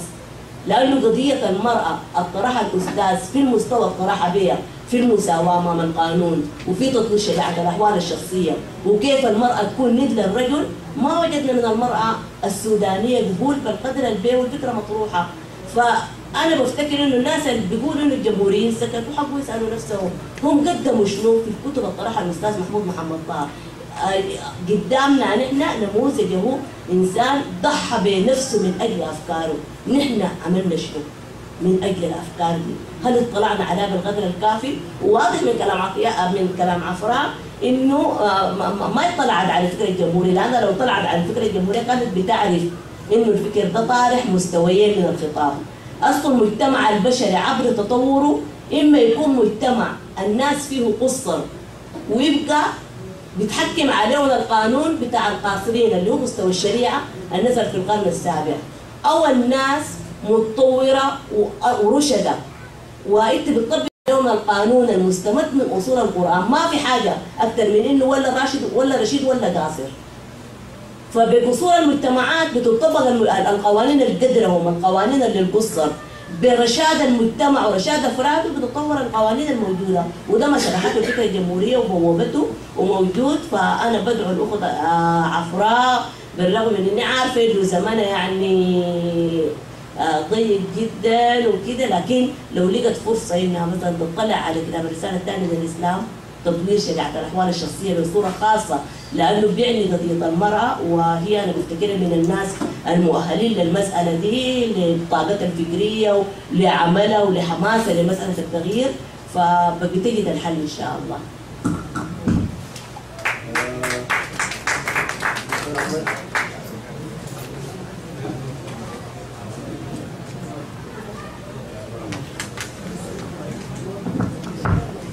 السلام عليكم. آه، نادرا ما أتكلم. آه، ما حطلب منكم فلوس ولا حاجة. لكن الأستاذ اسماء شكرا جزيلا آه، على حضورك إلى هنا. حقيقة عندي سؤالين. أو أو حقيقة توضيح وكنت أحب هل توافقيني بذلك أم لا. بالنسبة لك منذ نعومه اظفارك وأنت مع الفكر الجمهوري ألا تعتقدي أن الفكر الجمهوري جاء قبل وقته؟ آه إذا رأى الفكر الجمهوري يتطلب من الذي يفهمه أن يكون مستواه العلمي مرتفع جدا وإذا نظرتم إلى أعضاء الفكر الجمهوري كلهم كانوا إخواننا جامعيين فتأخذ الفكر الجمهوري إلى مستوى العام اعتقد يحتاج إلى نضوج في في الفكر في الفكر من حيث الفكر هل توافقين بذا؟ الشيء الآخر كذلك أنا أعتقد أن بعث الفكر الجمهوري لم يأتي بعد فكما قلت لك أن الفكر الجمهوري يحتاج إلى أرضية فكرية عالية وأعتقد الأرض الفكرية العالية لم تأتي حتى الآن في العالم الإسلامي. إنما العالم الإسلامي حقيقة يغوص في فكر منحط إلى آخر الحضيض فهل كذلك تعتقد أنه يمكن أن الفكر الجمهوري في المستقبل أن يبعث مرة ثانية؟ وهو شيء مكتمل أعتقد من جميع النواحي. شكرا جزيلا.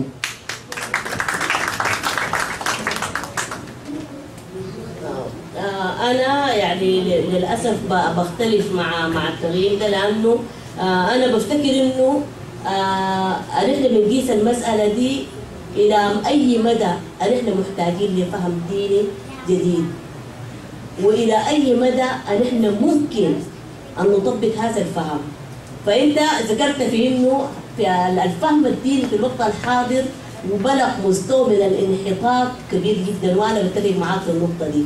لكن هل الانحطاط ده نفسه مش سبب عشان الناس تبحث عن بديل؟ على الشيء الحاصل إذا كانت قناعتنا نحن يعني كمسلمين في الوقت الحاضر إنه الإسلام ده صالح لكل زمان وكل مكان. انحطاط ال- الانحطاط اللي بلغه ال- ال- الإسلام في المست... في الوقت الحاضر ما هو انحطاط الإسلام لكن انحطاطنا نحن لاننا ما قدرنا نفهم الإسلام بالمستوى اللي إحنا محتاجين له اللي إحنا آه، آه، بنقدر نطبقه فيه نحن مثلا بنضرب مسألة, مسألة في إنه آه، إنه الفكرة ده وقتها قضية المرأة بصورة خاصة. مثلا في قضية المرأة المرأة في الشريعة الإسلامية مفروض تكون آه، موجودة في البيت وإنه زوجها قيم عليها.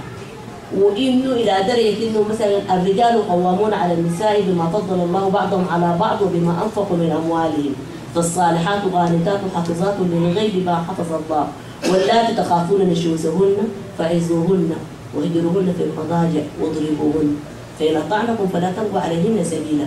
ومن آية القوامة دي من آية الوصاية جاءت كل التشريعات المرأة فيها حقها أقل من حق الرجل. يعني المرأة نص الرجل في الميراث المرأة ربع الرجل في الزواج المرأة مثلا نصف الرجل في الشهادة.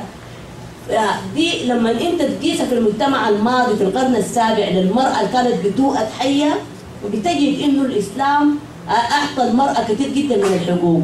لكن لما تجي تطبقها في مجتمعنا الحاضر عشان أنا دايره أبرهن لك إنه المجتمع ده ان إحنا في الوقت الحاضر محتاجين لفهم جديد من الإسلام يناسب وضعنا، إذا جيت طبقتها في المجتمع الحاضر وداير تدعي الاسلام كدعوة عالمية مثلا حملت الدعوة دي مثلا هيلاري كلينتون تقول لك مثلا عندك عندك ليش من الإسلام؟ تقول لها راجل ممكن يزود فيك أربعة ثلاثة وشهادتك أقل من شهادته لأنك أنت ينتظر لاحداهما فتذكر إحداهما الأخرى ممكن تقول لها إنه في الميراث هي تأخذ آه، مثلا نصف الرجل وربع الرجل في الميراث هل هل ممكن تقول لها إنه إذا نشست رجل الرجل ممكن يضربك؟ هل دي الدعوة الإسلامية اللي إحنا ممكن نحملها للمرأة المعاصرة؟ هل المرأة المعاصرة مش قطعت شوط كبير جدا في الترقي وأصبحت مؤهلة بالصورة المحتاجة لوضع أكبر ول- ولقيمة أزيد تساويها مع الرجل بالمعنى ده الفكرة الجمهورية جات في وقتها لأنه ال- القامة بتاعت الإنسان المعاصر قامة أصبحت قامة كبيرة جدا جدا. التشريع اللي عايزين يطبقوه؟ على الدعاة الاسلامي تشريع أقل حد كبير جدا من من قامة الإنسان المعاصر. ده بالإضافة لإنه الدعوة مثلا الجمهورية دعوة في الحقيقة مستوعبة كل قطاعات الشعب، يعني مثلا إحنا عندنا من الاخوات الجمهوريات نساء ما بيعرفوا يكتبوا اسمائهم لكن بيحاضروا. وحتى واحدة من النساء اسمها فاطمة عباس من بنات الباوغة. كانت واقفة في نقاش بتتكلم في ركوب نقاش. جاء واحد من أهلها شافها تتكلم وقف استغرب لأنها هي أمية ما بتعرف تتكلم. ما, بتعرف تقرا وتكتب فقام قال لها والله يا الإنقريابية عليك نصف فصاحه قالت له والله الفصاحة دي جبتها من الفكرة الجمهورية. لأنه طريق النبي صلى الله عليه وسلم دعوة للأميين النبي أمي وأمة أمية. فهو بيستوعب الناس بالمستوى ده لما نقول لهم صلوا كما رايتموني اصلي مثلا توضوا كما رايتموني توضي اتوضا دي طرق بسيطة جدا جدا. تستوعب الجاهل الأمي وتستوعب العالم. وببداية العمل بتجي المعرفه لأنه واتقوا الله ويعلمكم الله. فالفكرة الجمهورية فكرة في الحقيقة ساعدت الناس من القاعدة واستوعبت الفلاسفة والعلماء وأساتذة الجامعات. فبالمعنى ده هي جت في وقتها وهي آه لسه مستقبلها قدامها وحتطبق إن شاء الله.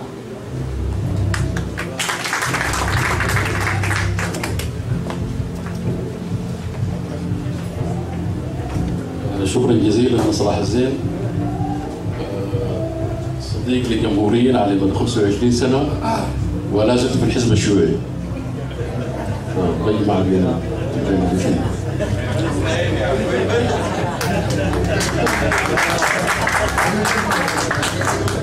ال- الحقيقة محمود محمد ال- محمود كواحد من المفكرين اللي كانوا ضد آه، الهوس. يعني القرن الماضي انقفل بجسد محمود. القرن الماضي يعني ال- ال- ال- العقد العقد الأخير من القرن الماضي 85 جسد محمود هو قفل القرن ده و ومحمود محمود لأنه محمود محمود من محمود قابله للتاريخ. يعني نادر جدا إنه يكون في مفكرين يتحولوا لهدايات للتاريخ. لما التاريخ ينحط ولما التاريخ انقفل ولما التاريخ بيشبه الدمل. كان بيحتاج لشخص زي أستاذ محمود. انه يبقى دمل التاريخ ده عشان التاريخ يستقيم دي عظمة محمود وال- والمفكرين اللي سبقوه محمود جسده قفل القرن الفات وهو طول عمره كان بحذر من الهوس الديني وكان بيقول إنه ال ال ال بنسمعها نحن في في, النقاش إنه تعملوا حسابكم من الهوس الديني ده وإنه الهوس الديني ده لو اتاح له واستلم السلطة بيذل الشعب السوداني. ونادر جدا زي ما قلت إنه لما تكون غابلة تاريخية لما تكون ميدوايف لتاريخ نبوءاتك بتتحقق. ال- ال- بالضبط اللي حصل إنه هذا الجسد غربت به شمس القرن الماضي. انفتحنا على الدياسبورا انفتحنا على الهوس لحد الآن. والدليل وجود الناس الموجودين هنا. محمود لا يمكن زيه زي مفكر استثنائي. وزيه زي وزيه زي مفكر عظيم ما بتقدر تقرأه إلا في تاريخيته. في تاريخيته. يعني ما بتقدر محمود ما بتقدر تقرأه إلا في في في في تاريخيته. آه محمود ما كان ممكن يجي إلا في في الوقت اللي فيه وما كان صوت. الفكر الجمهوري يرتفع. ازدهار الفكر الجمهوري يرتفع. الا في الوقت اللي ارتفع فيه ده؟ لأنه محمود بيعرف يداعب التاريخ. بيسلس خشونة التاريخ وبيسلس الفكر وبيشذب الجلافات. لما الناس يكونوا أيلاف محمود واحد من الناس النارين جدا اللي بيشذبوا الفكر في جلافته بيخلوكم فكر ينتمي للبني آدم العادي. بيخلوكم فكر بيشبه محمود ذاته. بيتو بساكو بيس الطشت اللي بيستحمى بيه بيأكلوا آه ل- لاخر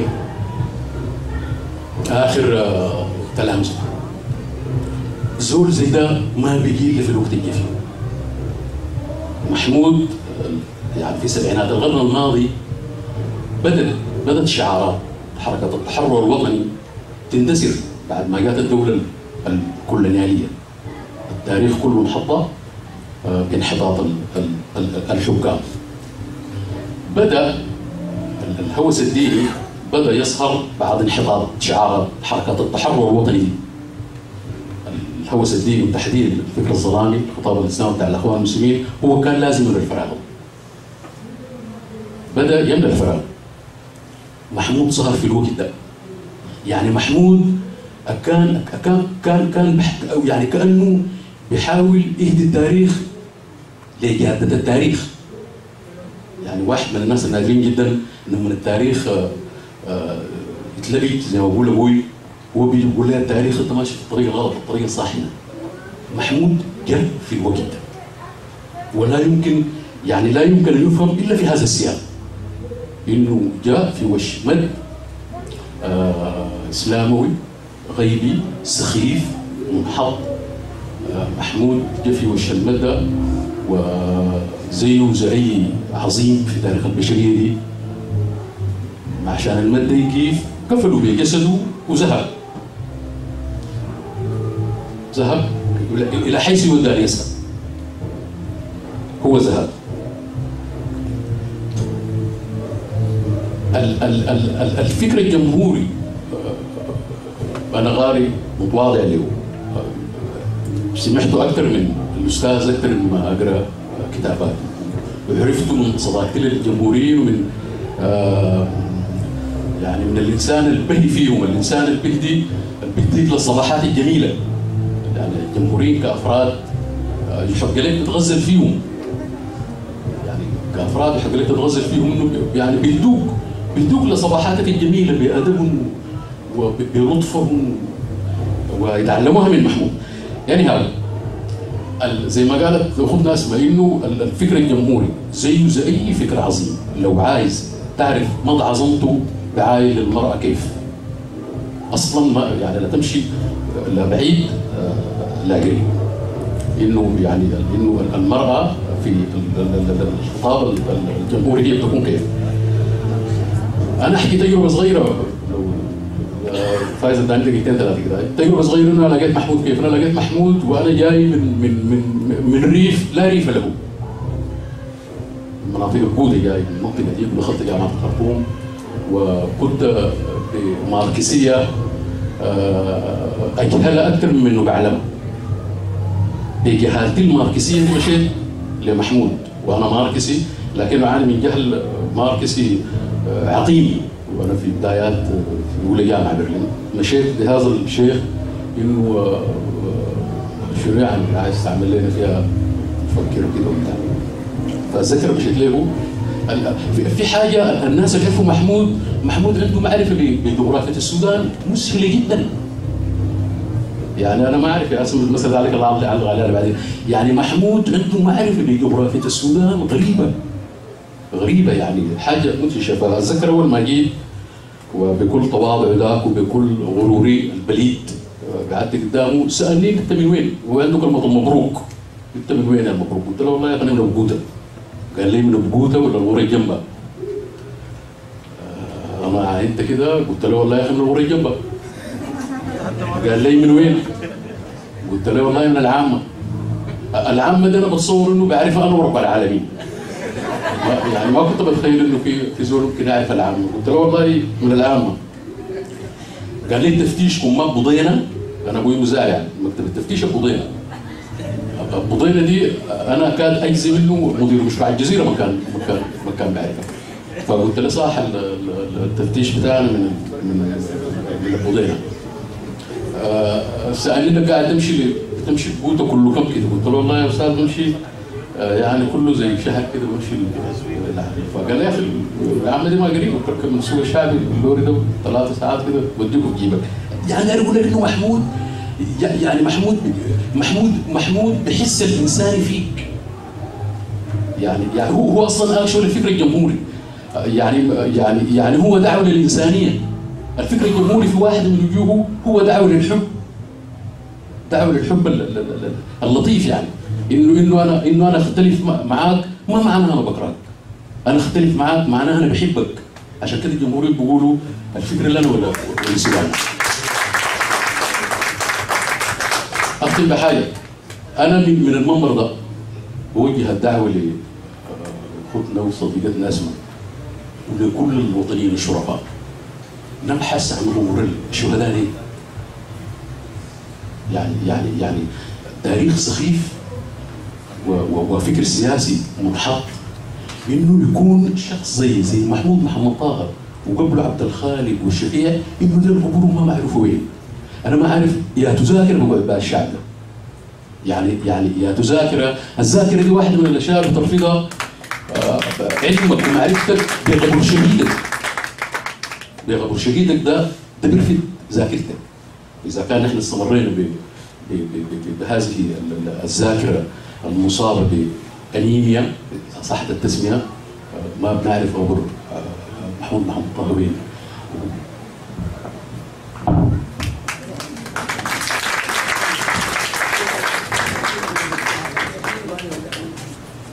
آه، شكرا شكرا جزيلا والله يا صلاح يعني على آه، الكلمات المعبرات وعلى العاطفة الجياشة. وأنا بشاركك يعني بشاركك بجد يعني في في في المسألة دي. يعني هي مسألة في الحقيقة الواحد يعني ما يعني بتفوق بتفوق انه الواحد ذاته يعني يقعد يت- يتأملها ولا يتصور فيها. آه لكن أنا بأكد يعني بأكد في المنبر ده إنه حيجي اليوم حيجي اليوم إن شاء الله. حيجي اليوم حيكون يوم عز ويوم كرامة لكل إنسان ضحى من أجل السودان. لأنه إحنا قناعتنا ان السودان ده بلد محفوظ وأن السودان بلد طيب. وده الكلام اللي كان بيقوله الأستاذ دائما كان يعني بيقول إنه الشعب السوداني شعب عملاق يتقدم واعزام وكان بيقول إنه آه، إن الكيد لهذا الشعب غير مأمون العواقب. فأي إنسان عمل وكاد للشعب السوداني يتأكد من إنه العاقبة حتكون وخيمة. ودي مسألة حتجي. تجي متين أنا ما بعرف لكن أنا يقيني إن المسألة دي حتجي حتتصحح المسائل حيكون في يوم يعز فيه الأعزاء وتعرف قيم الرجال وقيم النساء الضحوا وعملوا أي عمل من أجل السودان ومن أجل شعب السودان الطيب.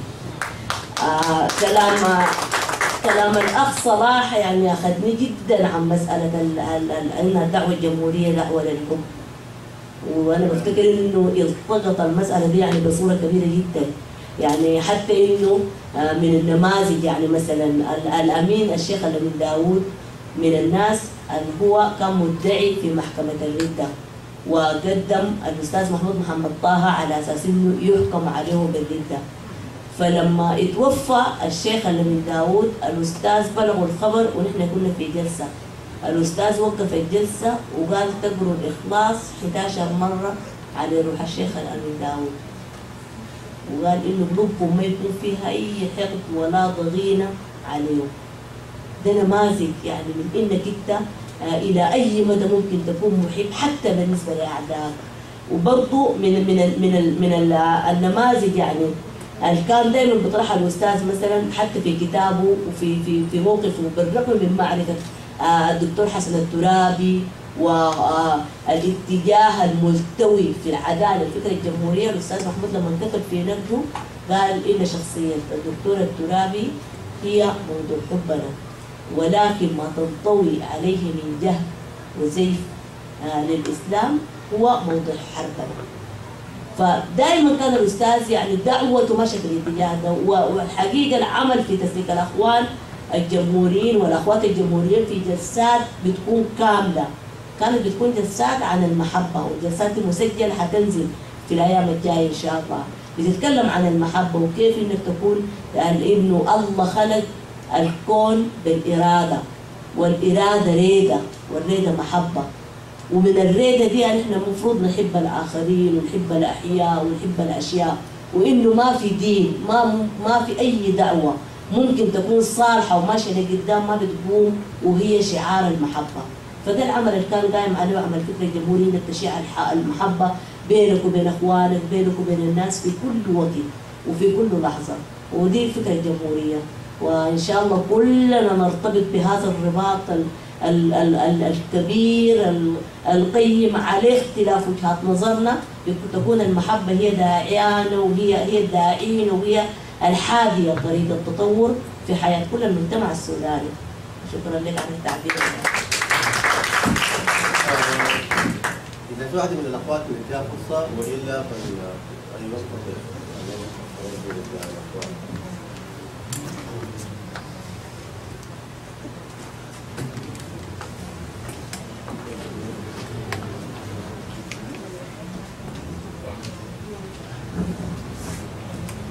بسم الله الرحمن الرحيم الإمام بدر الدين. الحقيقة ال- ال- ال- الندوة دسمة وأنا حكون كالذين سبقوني صلاح الزين وعفراء وغيرهم يعني أعجبت جدا. أنا ما ما قريت كثير للجمهوريين وسمعت عنهم كثير. وكما قال صلاح الدين معلوماتي ضحلة جدا يعني. آه لكن عايزة بس من من الندوة عايزة أع- أعلق إنه آه ال- ال- الكلمة اللي قالها صلاح الدين وعقبت عنها الأستاذ أسماء دعوة للحب. بتذكرني بالأستاذ سعيد هو قريبي. وأكيد أنتم بتعرفوه هو عليه رحمة الله وهو جمهوري. آه، فأنا مرت بي ظروف لما جيت البلد وكانت عنده ظروف اجتماعية قاهرة جدا. وتقريبا الأستاذ سعيد آه، جاب إشارة للأخ أزهري والأخت نجدة. فلقيت إنه في شخصيات بتتصل بي وأنا ما بعرفها. ما كنت بعرف الأخت نجدة ولا كنت بعرف الأخ أزهري. اتصلوا بيا ودعوني وقالوا لي تجيني في البيت. وما عرفوني أكثر من إنه إحنا آه جايين من طرف الاستاذ سعيد وفعلا آه وقفوا معي وسندوني. ومن اللحظة ديك آه قلت إنه سبحان الله يعني كيف إنسان ما بيعرفك بيجيك وبكيف معاك. ويمكن المحنة اللي أنا كنت فيها ما كانت معلنة. كثير من الناس ما كانوا عارفينها فلقيت قدامي النجدة وأزهري وقالوا لي إحنا جايين من سعيد قلت لهم أنتوا جمهوريين؟ قالوا لي إحنا جمهوريين. والإشارة دي فدي بتوري معناه الترابط والحب اللي هم يعني آه بينهم في نسيجهم الاجتماعي وفي إنهم هم أيضا بي بي بيحاولوا ينشدوه ويحاولوا إنهم هم يخلوه صلة بينهم وبين الناس فدي واحدة من الحاجات الجميلة اللي بتخليني أنا فعلا ادعم وأقول كلام صلاح الزين هو كلام صحيح إن هي فعلا دعوة للحب. الحاجة الثانية اللي أنا داير اعلق عليها شجاعة الأستاذ محمود محمد طه. حقيقة ذكرتني أو خلتني أعقد المقارنة بيني وبين نفسي في إنه امتلك الشجاعة بانه يقول اخر كلامه لجلادينه وأعقد المقارنة بين مفكرين الاثنين هو والشهيد عبد الخالق محجوب. الاثنين اعدموا من أجل فكرة ومن أجل نشاطهم الحزبي. دي المقارنه اللي عقدت آه قريت في كتاب آه في عنف البادية إنه عبد الخالق محجوب وهو ماشي على المشنقة. كان لابس جلابية بيضاء نفسها اللي أنا شفتها. فطوالت واردت في ذهني المقارنة. وكان آه لابس جلابيته البيضاء ومركوب أبيض. لاحظت إنه فعلا الصورة بتاعت محمود محمد طه لابس مركوب أبيض. وهو الثاني ماشي على المشنقة يقول عاش نضال الحزب الشيوعي عاش نضال الشعب السوداني. والأستاذ محمود محمد طه برضه بيقول إنه أنا برفض آه آه يعني آه هذا اذلال الشعب. وأنا برفض إهانة المفكرين والمعارضين السياسيين. المقارنة الثانية الدستور الإسلامي والهجمة اللي كانت في 65 أنت طرحت قلتي إنه الفترة دي بالذات آه كان كل السياسيين في حزب الأمة والاتحاديون وال وأفتكر جبهه الميثاق ذاك أو الأخوان المسلمين بترتب على طرد الحزب الشيوعي آه من طرد النواب الحزب الشيوعي. نفس الحكاية دي تكررت في آه 83 باسم الدين والشعارات الدينية اغتالوا محمود محمد طه. دول المقارنتين مقارنة بين شخصيتين ومقارنة بين موقفين. سؤالي هل ال ال ال ال الفكر الجمهوري فكرة دينية بتحتمل على التجديد؟ بمعنى هل هم دينيين إسلاميين بيعتمدوا على التجديد؟ يعني هل الدين ده هو موجود ومعترفين به وإنه دين الدين مجددين؟ وإذا هم مجددين هل الفكرة لديها برنامج بيحقق حاجات الناس في كل مرحلة من المراحل؟ يعني إحنا حاسين لنا عندنا حوجة حقيقية بتواجهنا في السودان. هل في برنامج من الفكر الجمهوري بيقدر يحقق الاحتياج الحقيقي اللي يحس لي هل هل مؤمنين بانه المفروض تكون في وحدة؟ ولا زي ما أنت بتقولي إنه الفكرة لأنها فكرة محبة وحب الناس يعني مدكي. ده السؤال. شكرا جزيلا.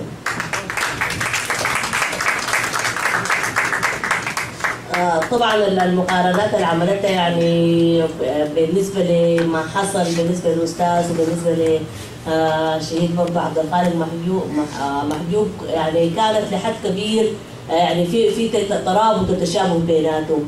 وهم في الحقيقة الحزب الجمهوري في الوقت ذاك والحزب الشيوعي هما الحزبين الوحيدين الخارجين عن نطاق الطائفية بصورة محددة. وهم الحزبين الاثنين اللي كانوا حزبين واقفين ضد الأخوان المسلمين والهوس الديني بصوره ذو الطائفية على اختلاف المشارب بيناتهم على اختلاف المنهجية في التفكير. آه لكن كان في تشابه بيناتهم في المسألة دي. فالمقارنة دائما زي ما قلتي آه في في الكلام عن إنه هل في في برنامج آه معين في الوقت الحاضر يلبي حاجتنا نحن آه في مسألة السياسة وفي برنامج سياسي مطروح. آه البرنامج السياسي وهل زي ما ذكرت إنه هل الدعوة الدعوة الأخوان الجمهوريين دعوة دينية للتجديد آه هي دعوة لفهم جديد في الإسلام الموجود نفسه. يعني ما ال ال القرآن الموجود بين دفتين المصحف في فهم جديد له مختلف من الأفهام والمفاهيم الموجودة عند عامة العلماء المسلمين ورجال الدين. حتى إنه الأستاذ بيقول ما ندعو له نحن في الحقيقة ما فهم ما قانون ديني ما فهم ديني. نحن داعين لدعوة إنسانية. الدعوة الإنسانية بالمعنى البيه بتنظر لحاجه الإنسان من حيث هو إنسان بغض النظر عن إنه هو مسيحي مسلم بوذي مرأة مسلم كل الفوارق اللي بتقوم آه، بين الناس آه، والاختلافات ال- ال- المعروفة عند الناس الفهم الطرحة الفكرة الجمهورية فهم بيتجاوزها لاعتبار إنسانية الإنسان. ومن هنا بقدم قانون وبقدم دستور إنساني. قال نحن ما بنسميه دستور السودان الإسلامي. حتى عندنا أسس دستور السودان قال ما بنسميه مع إنه مستمد من الإسلام لكنه هو دستور إنساني لأنه بينظر للقيمة اللي بيشتركوا فيها البشر اللي هي قيمة القلب وقيمة العقل اللي هي عنده عندك وعند الثاني والثالث ومن هنا ال- القلب وحاجة العقل مكفية بالدستور الطارق الأستاذ وهي حاجة إنسانية الحاجة للاشتراكية الحاجة للديمقراطية الحاجة للمساواة الاجتماعية. ومحو الفوارق بين الناس. ده بصورة آه، خطوط عريضة جدا جدا. البرنامج ده ما بيتم إلا بقناعتك وقناعتي به وبنقاشه وبإننا نحن نأخذ به في مستوى المنهاج الفردي وفي مستوى المنهاج الجماعي. وبالدعوة له بالقناعة به بالتالي بتطبق. وهو بيكون مسألة دستورية بتحل كل المشاكل الموجودية الموجودة في المجتمع بالإضافة للمشاكل الموجودة في في في في, في, في, في الإنسان نفسه في, في العنصر البشري. مشكلة الحقد والضغينة والمشاكل الكثيرة جدا بالمنهاج النبوي. أنا وأنت بنستعين على نوصل فيها وبالتالي بتشيع مسألة المحبة بين الأفراد والقانون بيقوم لمساعدة المسألة دي.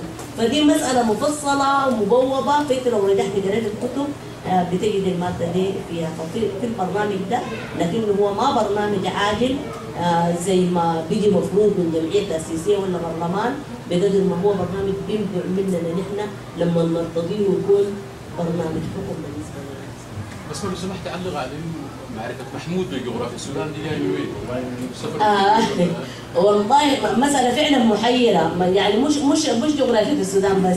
يعني آي يعني معارف بتفاصيل. حتى عادات الناس في القرى وعادات يعني آه، ال- ال- ال- ال- الأنساب إنه مثلا ديل بينتسبوا لديل وديل جايين من شمال السودان ووصولوا هناك وبيزوروا مسألة محيرة جدا ودي بالمناسبة عدد كبير جدا من الناس لاحظوا بها. وحتى واحد من من الناس قال لا الأستاذ كان في محاضرة. وهو قال لما بعد قال لقيته وأنا كنت في مرحلة يعني آه في الثانوي ولا كده ولحد ما مشيت الجامعة وتخرجت فقال جيت زرت الاستاذ فقال له مجرد ما زرت الاستاذ قام قال له آه هو برضه بالمناسبة من الشيوعيين وقام الأستاذ قال له أنت حجينا. يوم من الأيام حجينا قال في في جولة من جولات الأستاذ في في محاضراته في كادوغلي فقال لما جاء الزول ده بعد تم الجامعة قال جاي يزور الأستاذ قام قال له أنت فلان وكده وبعدين قاعد يتكلم لي عن كادوغلي ومرتضى التلودي وكنوجي وشيخ شمعون وشيخ منو قصص فطلع محتار قال يعني أنا ما عارف القصة مع الأستاذ آه، بالحكاية دي جاية كيف يعني. فهو في في المسألة دي يعني مسألة واردة بعدين برضه آم، آه، في في في في مسألة الهندسة ومسألة المساحة. خلت المسألة دي تكون بالإضافة لأنه الأستاذ طاف عدد كبير جدا من القرى والمدن وحاضر فيها. فهذه كلها مسائل. يعني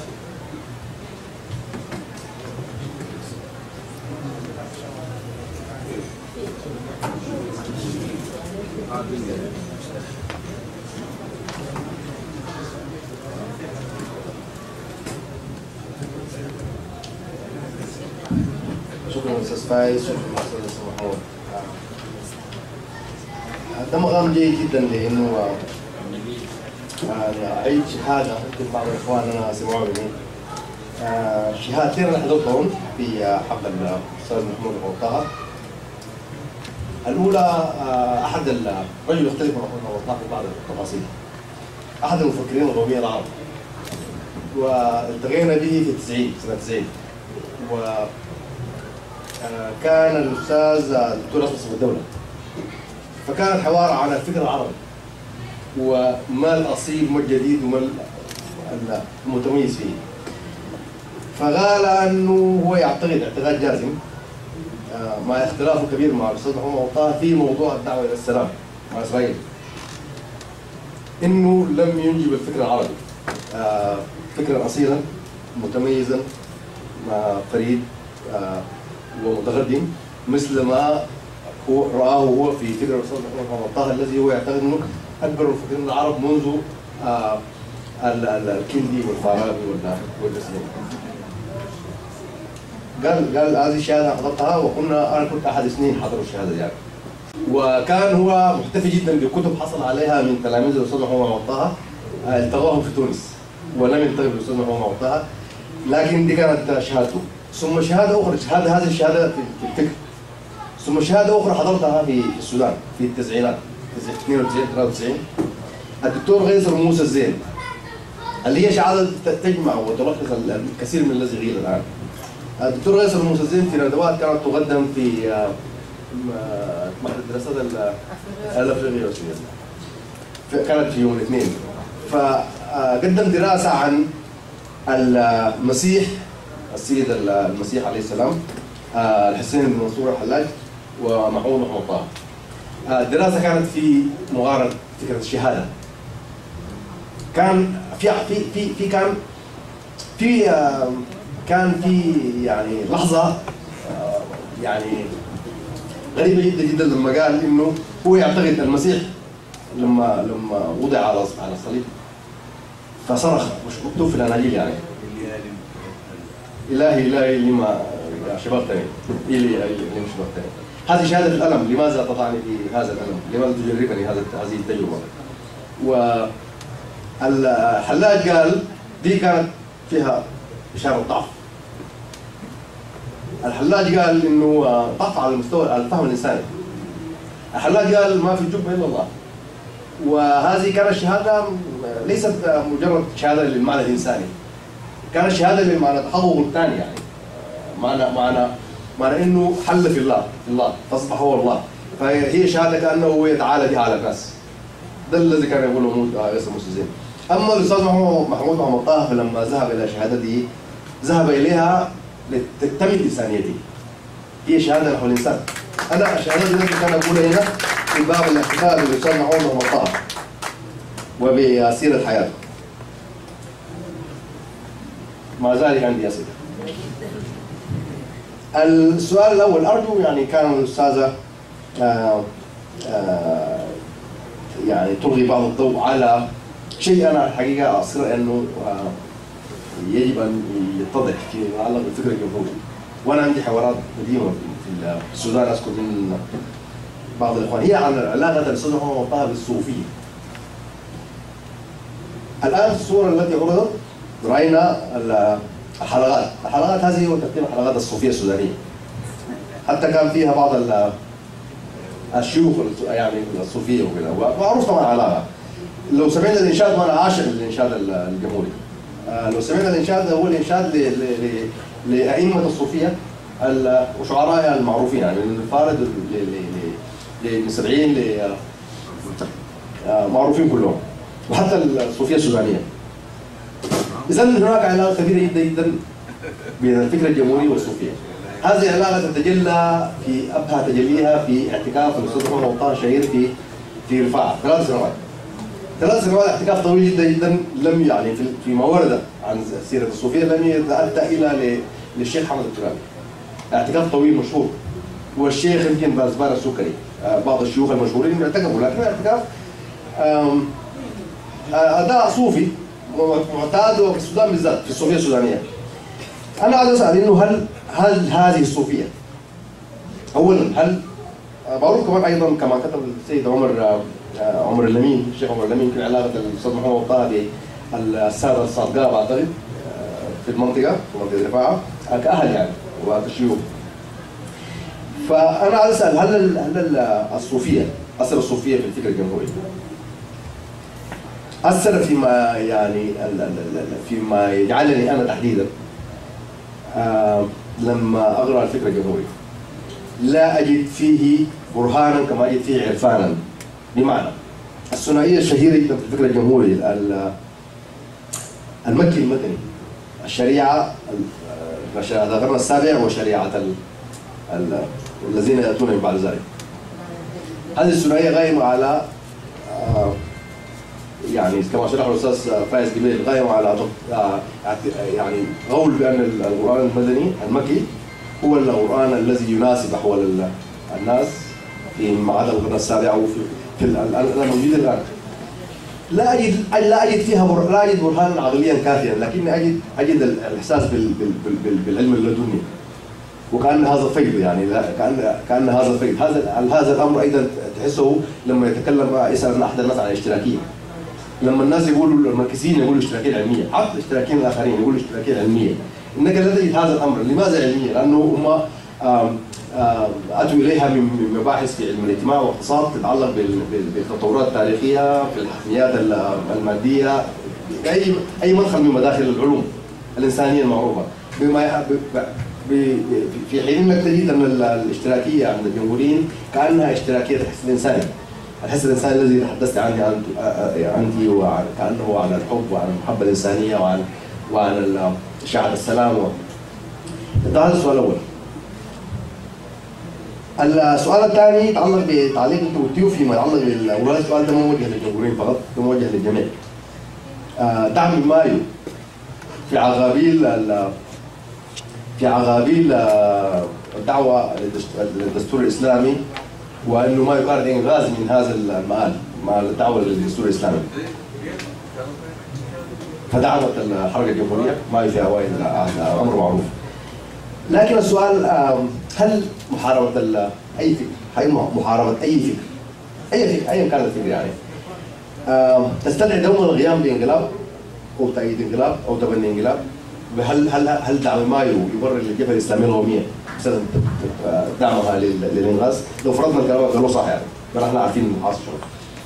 آه، أو أو الاتحاديين الغايه مثلا بانقلاب آه، وتأييده. تخلصا مثلا من دعوة الاستغلاليين في حزب أو آه، يبرر لعبد الله خليل ما قام به من انقلاب ده على المستوى السياسي. السؤال ده موجه للجميع.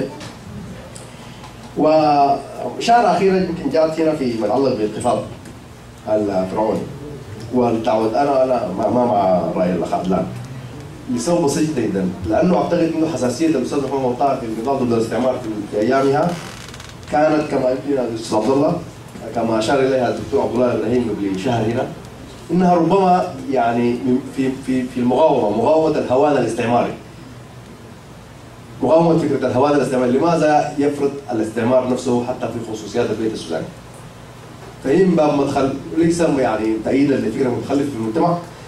و ولا أعتقد ابدا إنه كان حتى في بواكير الدعوة آه، الجمهورية. كان يمكن للأستاذ محمد طه أن يكون على على أي آه، في أي موقف آه، غير غير غير متواطئ مع المرأة.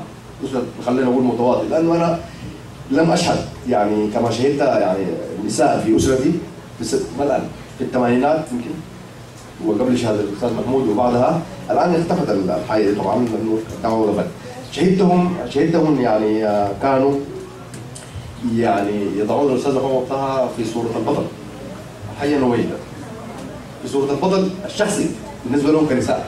هم عارفين ال ال الموقف ده أعتقد الموقف ده ما كان ما, نتج من فراغ ولا من نتج من شكرا جزيلا. أسئلة كلها جميلة. آه ببتدي بال- بالسؤال الأخير في إنه وضع صورة الأستاذ كبطل. ودي دي يمكن تكون يعني أي واحدة من الأخوات الجمهوريات بتحس آه بالصورة دي يعني بصورة كبيرة أكثر من من مسألة البطل وبس. مسألة إنه ال ال ال الأب البطل. يعني في في علاقة عاطفية زايدة في في في العلاقة بها لأن المسألة م- مش مجرد داعية من أجل حقوق النساء وبس. داعي لحقوق النساء بعاطفة. يعني ده موضوعه. ودي حياته. وإنت برضو لما تكون في موضع موضع الضعيف لما تكون آه، شاعر بإنك إنت مهان في المجتمع إنت مذل باسم الدين إنت حقوقك منقوصة انت في البيت وضعك الراجل مميز عليك مهما كان مستواه يعني الفكري ومستواه الخلقي لمجرد انه هو رجل احسن منك لما تلقى انسان بيدعمك في في في في في, في وضع زي ده وفي مجتمع دي قناعته والمسألة دي مبروسة عبر التاريخ بالدين وبالحياة وبالوضع الاجتماعي لما تلقى إنسان بيدعمك بالصورة دي أنا ما بفتكر إنه ممكن يكون في حياة الإنسان في بطل ممكن ينظر له أكثر من, من, من, من الإنسان اللي في الموقف ده. فالأستاذ محمود كان ساندنا كان ساندنا لحد كبير جدا في الحقيقة. نحن ما كنا عارفين حقوقنا. هو وضحها لنا شرحها لنا ورانا كيف نستأهل هذه الحقوق وساعدنا في إننا ندعو الآخرات الأخريات لها فهو بطل بالمعنى ده ودي عمل ما عمله أي رجل. أنا ما بفتكر إنه في أي رجل في رجال كثير هنا وهناك كتبوا عن مسألة المرأة وعن مساواة النساء والرجال مجرد كتابات فكرية. لكن في الممارسات الواقعية وفي الحياة اليومية بتلقى السلوك يتخلف. لأنه المجتمع ده مجتمع نشأ في الغابة وفي الغابة دائما قانونا القوي بياكل الضعيف ونحن لحد الآن بنعيش في مجتمع الغابة ولحد الآن الرجال عندهم سطوة على النساء. فلما يجي إنسان يدعم آه، يحارب الوضع ده ويدعو لتغيير الوضع ده ويساعد المستضعف ويقف معاه أنا ما بفتكر إنه ممكن تكون في بطولة أكثر من الحكاية دي. فبالمعنى ده هو كده آه، في آه، كلام عن مسألة العلاقة بين بالصوفية والفكر الجمهوري. آه، الأستاذ محمود بيفتكر إنه في الحقيقة النبي صلى الله عليه وسلم هو أكبر صوفي وإنه نحن ورثة لدعوة الصوفية بالمعنى البيهو آه، داعين لبعث سنة النبي صلى الله عليه وسلم. وسنة النبي صلى الله عليه وسلم قامت فيها كل الم- ال- الممارسات اللي مثلا قاموا بعد ذاك الصوفية فيها مثلا مسألة الخلوة في غار حراء دي من المسائل اللي قاموا بعد ذاك العلاقة بالله والعلم اللدني. كل المسائل دي مستمدة من من من, من فهم الأستاذ محمود لمسألة النبي صلى الله عليه وسلم وإنه الإسلام في اصوله صوف النزعه وإنه مسألة ال ال ال ال ال آه، الجهاد ومسألة العنف ومسألة الفقه ال- الدعوة ال- الخشنة للإسلام والصورة المعروضة في الوقت الحاضر إنما هي مسائل مرحلية. بعدوا بها الناس على السنة اللي هي نهجها نهج المحبة ونهجها نهج العلاقة مع الله وإشاعة الخير بين الناس وده العمل اللي قامت عليه الفكرة الجمهورية. فهل في في في في دلائل دليل ولا مثلا زي ما قال إحنا مثلا ناخذ المسألة كأنها مسألة مسلمة بها أنا بفتكر إنها مساله الدليل موجودة. يعني مثلا لما يقدم النبي صلى الله عليه وسلم زي ما قلت قبالك في إنه هو داعي للاشتراكية بدليل إنه طبق الاشتراكية في نفسه. العفو ما زاد عن حياتك الحاضرة. دي أنت بتاخذها نواه عشان تطبق ت- تقنن عليها على أساس إنه قانونك يقوم على الاشتراكية.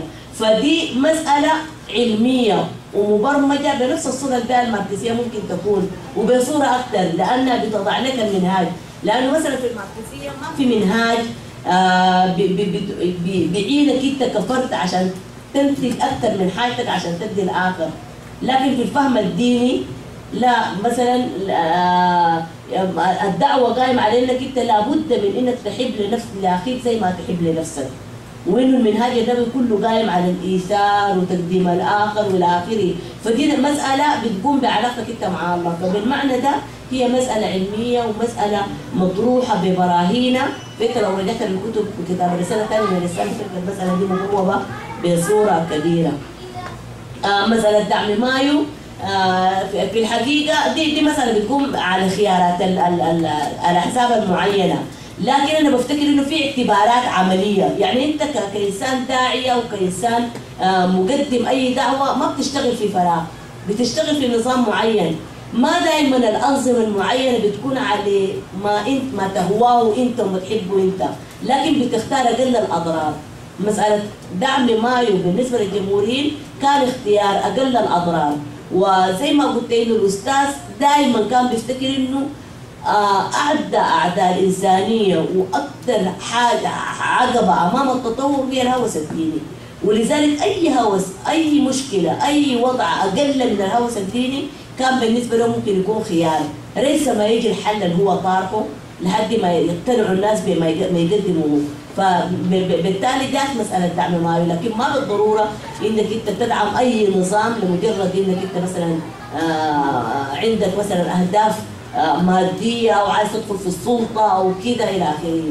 فده ده الموقف كان موقف الجمهوريين. ولما لما ما يسارد في ركاب الطائفية سنة 83 وعملت القانون ال- ال- قانون قوانين سبتمبر وسارت في اتجاه الأخوان المسلمين واتجهت اتجاه الهوس الديني الأستاذ وقف في معارضتها الصورة اللي تمت بها المأساة في نهايه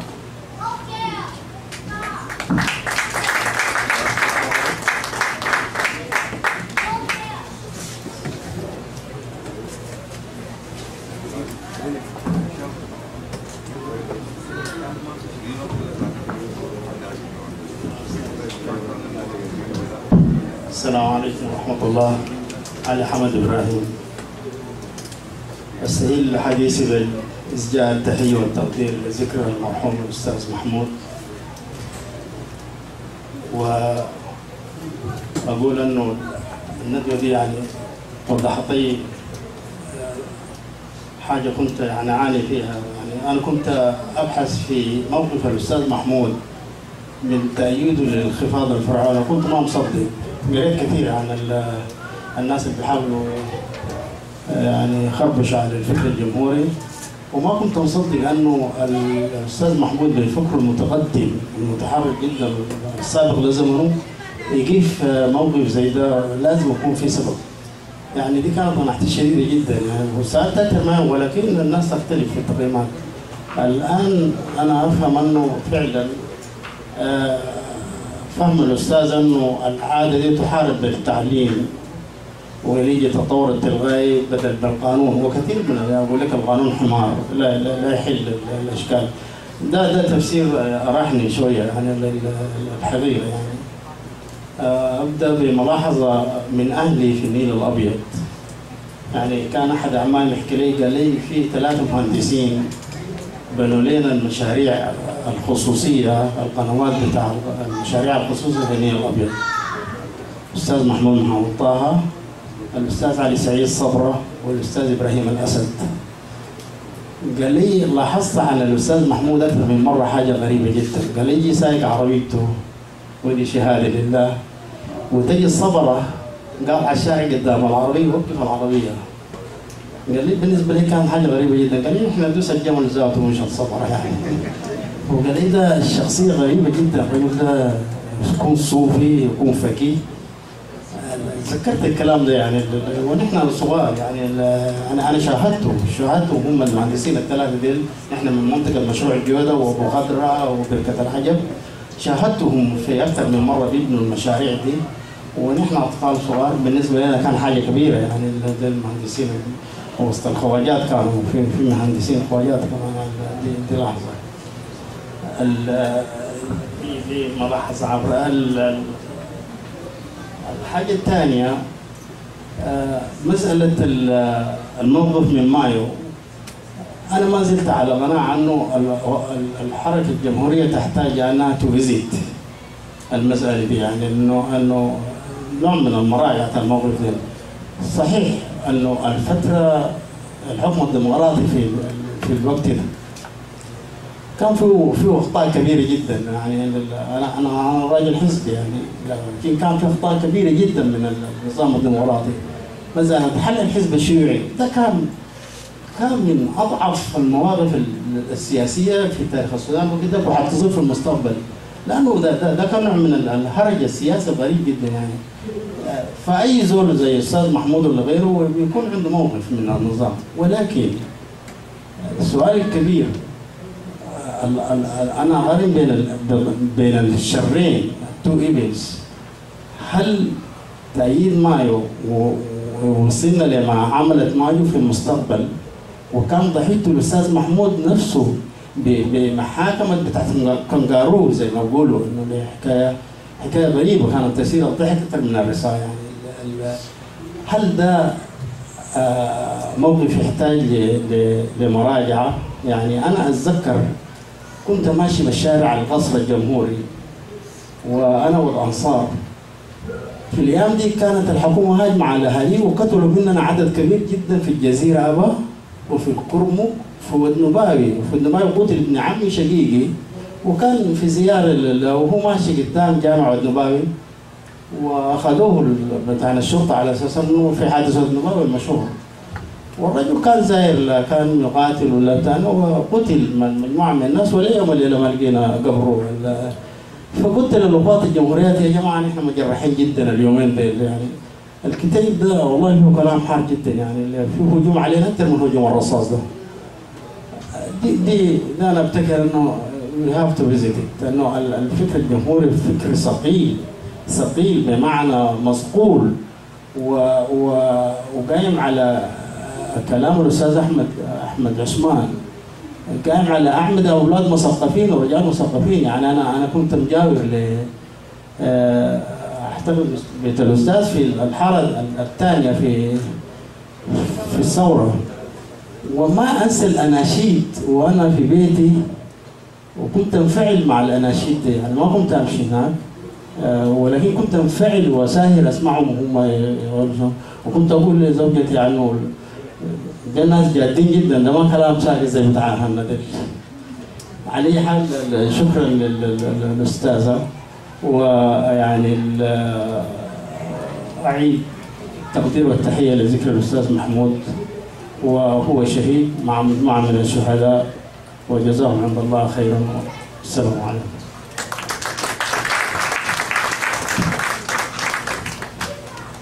آه، شكرا جزيلا على ال- الكلمات خاصة الكلمات الطيبات.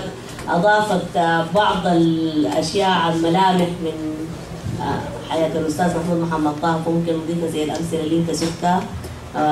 ممكن تض- تضاف للذخيرة يعني اللي عندنا وأنا بقدر أقدر يعني مسألة الموقف الشخصي اللي أنت كنت مر به وكده ويعني الواحد بيتعاطف معه لحد كبير. آه، لكن الظروف السياسية وموقف الأستاذ في مسألة آه، الحرب ضد الطائفية واستعمال الطائفية للسلاح في البداية آه، وإنه الأستاذ عايز يجنب الشعب السوداني مسألة الطائفية وده هدفه الأساسي وإنه آه، حتى إنه يفتح الباب لمسألة التوعية وطائفة الأنصار طبعا من الطوائف الك- ال- الأساسية في مسألة الطائفية دي اللي أدت لاختيار الموقف السياسي. فبالرغم من التعاطف ال- ال- ال- ال- الشخصي مع الحادثة لكن الموقف السياسي اقتضى المسألة دي. ف يعني كونه مثلا آه، تنظيم معين آه، يبدأ بحمل السلاح وهو قايم على اللامذهبية وبيضل الشعب السوداني. الاستاذ راى إنه هو ما يتجاهل المسألة دي للاعتبارات. مساله عاطفيه بت- ب- ب- بتحب الناس. فده كان الموقف في الوقت ذاك. على رغم يعني بالرغم من مشاكله آه، وال- وال- والضحايا الكثيرة اللي حصلت فيه ولكن ده كان الموقف على أي حال. في مسألة آه، دعم مايو. انت ذكرت انه آه، ما كان في مبرر لمسألة دعم مايو لأنه مثلا في هوس ديني في طائفيه حتقوم وكده وإنه الأستاذ أصبح هو في في النهاية ضحية لنظام مايو آه، وهو كان مؤيدا آه، وأنا بفتكر إنه المسألة مسألة ال- ال- ال- آه، إعدام الأستاذ في النهاية هو كان قايم من الطائفية من الأخوان المسلمين. إذا ما كانت في فترة لتأييد مايو في الوقت ذاك ما كان في فرصة لفكرة جمهوريه تتعرف في المدى الطويل ده. كانت المسألة حصلت من أيام محكمة الجده من سنة 68 كانت المساله دي ممكن تحصل. لأن كانت المتابعة طواله لل- للأستاذ في المسألة دي. وجات حتى إنه جات القضية بتاعت عمر محمد الطيب واعتقل الأستاذ لأول مرة في في عهد مايو. لكن بالرغم من اعتقال الأستاذ في عهد مايو نفسه الأستاذ رأى إنه نظام مايو لحد الآن هو بيصبر في إنه يكون حايل بين الشعب وبين الطائفية. وعشان كده نحن ندعمه لحد ما وصل للمرحلة اللي بقى جزء من الطائفية فقام الأستاذ عارضه. فعلى أي حال المسألة بس اتأجلت من من من وقت. ابدا أدت فرصة للوعي أدت فرصة لأن الفكرة الجمهورية وص- وصلت للناس آه، في في في في, في, المدى البيهو ظل تأييد الفكر الجمهوري لحكومه مايو قد يكون في اختلاف في المسألة دي بنقدره لكن المهم ده الموقف بتاعنا. آه، كان في في سؤال هنا من واحدة من الاخوات قالت إنه الأستاذ آه، قاوم الاستعمار ما هي الأساليب التي سلك في هذه المقاومة وما كان رأيه في المقاومة المسلحة؟ آه، ال- ال- الأساليب اللي اتخذها كانت كلها أساليب سلمية. ف- في إنها معارضة ال ال ال ال ال الاستعمار بالخطب في المساجد بكتابة المناشير بتوعية الشعب بأنه لابد أن ينجلي الاستعمار. كل الأساليب اللي اتخذها الأستاذ عبر تاريخ العمل السياسي اللي كان بيعمله كانت أساليب سياسي أساليب سلمية. وما بيعتقد إن المقاومة المسلحة إلا إنها بتولد مقاومة مسلحة من الطرف الثاني. ولذلك طالب مثلا بحل مشكلة الجنوب حل سلمي قال إنه لابد من إنه الناس يلجأوا لطاولة المفاوضات لأن الحرب ما بتحل مشكلة. وإنه أي قضية تكون موجودة لابد من إنها تحل عن طريق المفاوضات وعن طريق السلمي لأنه ما في مقاوم ما في حل مسلح ممكن يكون هو النهاية وإنما بيولد نوع من العنف. وقال إنه القوة الفكرية والقوة قوة العاطفه وقوة الثبات على المبدأ تشل العنف وتوقف العنف عند حده. وتنتصر بذلك قضية السلام وقضية السلم فده كان آه، الديدن بتاعه كانت طريقته دائما في المقاومة.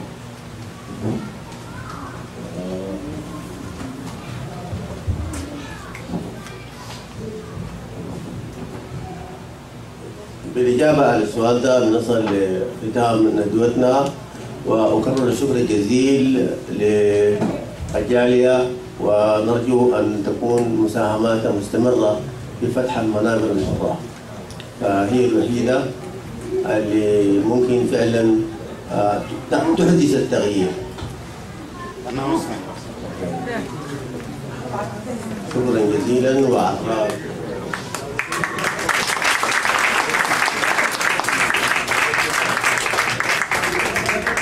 أنا بس عندنا أناونسمنت منظمة المرأة إنه يوم 9 8 السبت 9 8 حنعمل تكريم للأستاذة أسماء تكريم تكريم للمرأة السودانية.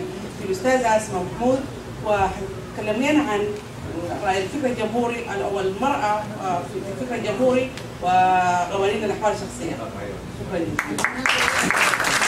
شكرا